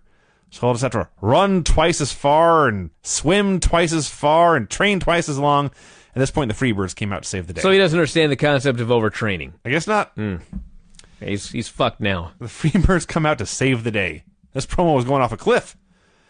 So Michael Hayes says, Listen, I've seen all the big matches, all the big fights. I've never had the feeling I had watching that Flair Garvin match like I like I did that. Oh night. yeah, Well, I'm skeptical. says in his eyes, Ronnie is still the champion. No. He thanked Ronnie, in fact, for ex- exposing all of Ric Flair's weaknesses and vulnerabilities A sunset flip off the top. That's the only one I can come up and with. chopping. Yeah. And so they all want a shot at Flair. Jimmy congratulates his brother. You proved Flair can be beaten. You proved nothing's impossible. So Hayes wants a shot at Flair. Jimmy Garvin wants a shot at Flair. Ronnie Garvin, who just lost his championship and has not yet gotten a rematch, says, Hey, any one of us might do it. Who knows? Good luck, Flair. I just love He when didn't give a shit. I just love when Hayes is going on and on about how I want a shot at this title, and Garvin's just kind of he's just sitting there with his head down. know who he was? This just hit me. And I, I, I think it's actually before that. Ronnie Garvin was Buster Douglas. He had his late career Miracle World Championship win. It didn't last long. He lost right away again and faded away. And he was done. yeah. That was this. So we watch these shows. Weeks go by with nothing but squashes.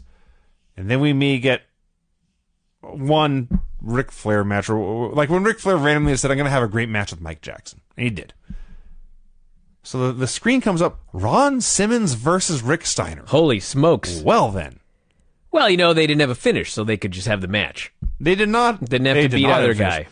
So they start, and it was funny listening to Schiavone call them youngsters over and over again. I'm pretty sure Ron was in his 30s here, I think, or close.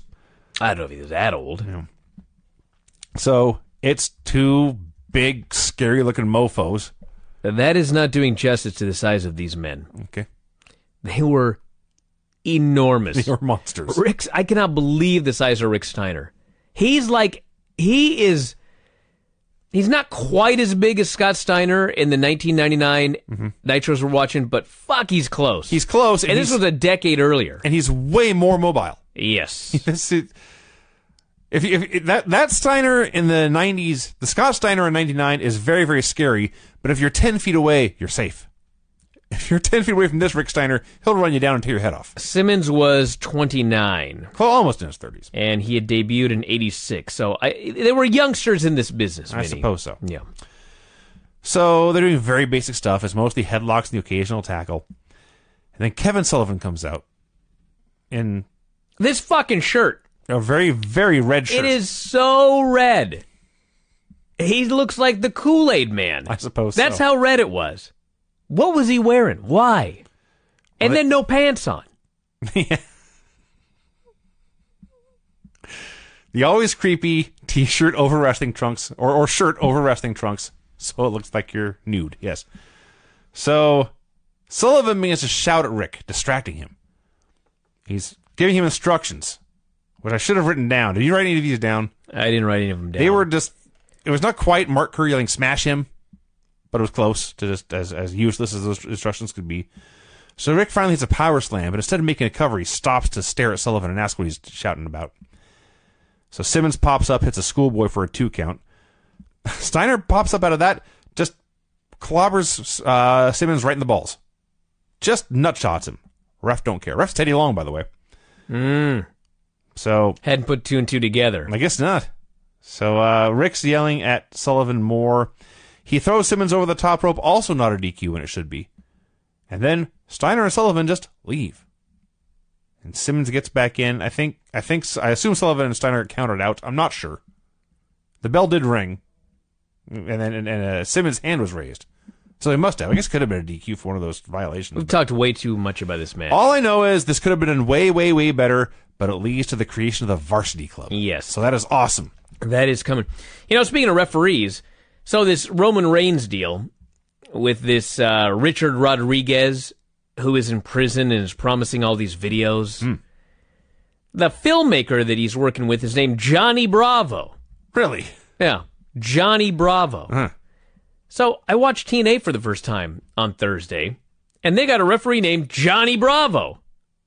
How about that? Yeah, it's a conspiracy. It is.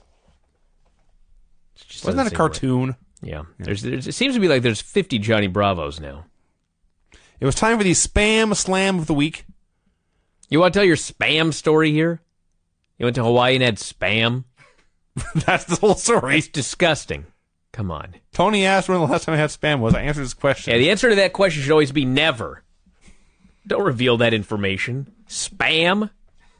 Disgusting. They do like spam in Hawaii though. They're big they're big spam addicts. I've noticed. Everywhere you go you can add spam. yeah. Hmm, it's weird. Why? Why are you yelling at them and not me? I don't know. I've had it once in the past 30 years. They eat it every no, I am day. yelling at you, not them. Or, yeah, anyway. You're not Hawaiian. Well, no. Yeah. I'm clearly not. You're a poser eating that spam. Oh, All right, let's get going here. So, the spam slam of the week was Dr. Death doing a press slam, which they didn't actually show. They showed him doing the lift and not the slam. Arn Anderson and Well, Tully. the slam's the easy part. The lift is the difficult. That's part. actually true. Yeah. Gravity will take care of the rest. Yeah. Arn Anderson and Tully Blanchard versus Rocky King and Chance McQuaid. Horseman won quickly, spinebuster, slingshot, suplex, pin. And then it was time for, for the real important stuff in this show. Oh man, no subtlety here. No, None. all the horsemen are out there. Tully, Arn, Lex, or Lug, as they called him sometimes. Flair and JJ. Now everyone else has already talked, so this is all Arn and Tully doing the talking. And Tully goes first, and all Tully does is make fun of the Road Warriors for losing, say they hung, hung their head and walked out, probably went back to the gym to work on their bench press more. And then it's Arn's turn to talk. He says, You know what? There was a time in my life where I didn't have one of these. And he holds up the tag team title belt. He says, I did whatever it took to get to get these and hold, get one of these back and hold on to it. But now I can't help but notice there's a void in the group. Oh man. And they cut to Lex, who takes off his sunglasses and listens intently. And I mean, the camera's on him for like a full minute as he looks at Arn with a look on his face, Now- like, "Are you talking about me, motherfucker?" They had this in the wide shot because Lex is standing right behind him. Yeah. They could have stuck with this. You could have still see everything Arn did and everything Lex did. They had, Yeah. to, they had to cut to the close up for that. So Just Arn, in case you were an idiot. hey, you never know. You never know. So Arn says there's some people out there who want to be great wrestlers and champions, and there's some people who want to be stars. And they want to go to make commercials. They want to go to Hollywood. And he talks about this for a while, how important it is to be a wrestler and not a star. He says the horsemen are a well-oiled machine. And sometimes one of those gears goes flying off. And it's up to the rest of us to get that gear back on track. Now, before this can go any farther, Ric Flair steps in, the captain of the team, as he called himself. he notices there's a problem brewing here, I'm going to shut this down right away. and he jumps in and just gives his usual Ric Flair happy pep talk. Yes, he says we're all in this together. We're all still the best. And he, he re- again promises Lex that he'll he'll get back on track someday, sooner than later. And he gets them all to do the, the, the horseman handshake with all stack hands and say horseman forever or whatever. But Arn never looks Lex in the eye. Mm. And you're thinking about this, and I, I was thinking about this like as we were recording this show. Lex got into the horsemen by basically sticking his nose in their business. And then uh, to make room for him, they kicked out Arn's uncle or cousin or whatever he was supposed to be. So they kicked out Arn's family to make room for Lex. Yeah. And now here Lex goes. He's the only one of whom drops the ball on the biggest show of the year to their biggest rival. No wonder Arn's pissed. Man, This oh, all man. makes sense. But they did do the horseman handshake and they all left together. It's a slow burn, a slow build. Speaking of slow, Mike Rotundo. Hey, hey, hey. There's lots of guys here who don't have their mind on wrestling that's going to come back and haunt them. I still think I can out wrestle anyone. I can take their strap. Yeah. Sweet. And then it was time for this main event. Holy shit. Mighty Wilbur, Barry Windham, and Ricky Santana. First off, look at these teams. The Mighty Wilbur, Barry Windham, Barry Windham, and Ricky Santana against Ivan Koloff, the Warlord, and the Barbarian. So, we have not had to see Wilbur doing long competitive matches yet. no, he did like an elbow and a splash. He's fucking horrible. Unwatchable. God bless this guy. At one point, he did a big splash, okay? I want you to imagine, let's just say he's six four, okay? Okay. It was like he was in a cave that was exactly six four, so there was no room whatsoever to go up. He hit the ropes and he jumped, jumped, but went down. Eh, I don't know. How? I don't know. Like I couldn't even figure out the physics of this. Let's not even gloss over how bad he looked hitting the ropes. By the way, It was like he went off a diving board. But you know how you jump on the diving board and it goes up and down? Yeah. It was like when it went down, he jumped. yeah, Not when it went up to propel him. or it broke. yeah, it was fucking the weirdest thing I ever saw. So there's awful brawling going on throughout this. Hideous. And Tony's trying to push it as this is the kind of action you'll see at the Bunkhouse Stampede. Cancel my order. Thank you for the warning. I won't go. So Wilbur's in the corner. Number one, Paul Jones grabs his foot. Wilbur cannot escape. He's grabbed his foot with one hand. I like. There was a point here where it was Wilbur and Ivan in the ring, and it's it, it's just miserably bad stuff. But as we have mentioned, Ivan Koloff probably worked with more shitty wrestlers than anyone else. So for him, it's just another day at work. Oh yeah. But Barry's watching this one across the ring. He just you can you can almost see him just say "fuck this," and he gets in the ring and he tells Wilbur to leave, and he starts wrestling in his place. Yeah. No tag, no tease of a tag. Nope. Just just I'm wrestling. You get out. It goes on for a while. There's more awful brawling. A, a chain gets involved. Hey, bunkhouse. We got to plug the bunkhouse stampede, dude. We got to get a chain in there. We had one minute of competent wrestling. It was Barbarian versus Barry Windham, Think about that. which was really really good. the ball bearing in the one minute of competent wrestling in this entire It match. looks spectacular compared to the rest of this. And then Santana gets a hot tag, and the show goes off the air with the match still in progress. yeah. What? Well, that was lame. That was horrible. This show went off on a cliff at the end there. It really did. but all in all, from start to finish, They got a direction. they have new. Everyone has new stuff. Yeah. You watch Great. Raw after a pay per view, and like usually it's just, well, we're gonna keep going. Yeah, and we're gonna redo years. a bunch of matches. Yeah. Yeah, this is like the big show's over. It's time to build some. So t- we got to plant some seeds first. Yes. Mm-hmm. But we can also build some new programs, and we got some new stuff coming, and that's exciting. The only thing that's still going on from the uh, from Starcade is the Rock and Roll Express and Midnight Express still hate each other, Yeah. which means okay, so we're gonna get those two teams in lots of matches. Great, Well, I mean that'll go on forever anyway. that'll also go on forever. It'll never end. Yeah, So yeah, I enjoyed this show. yeah, good show, and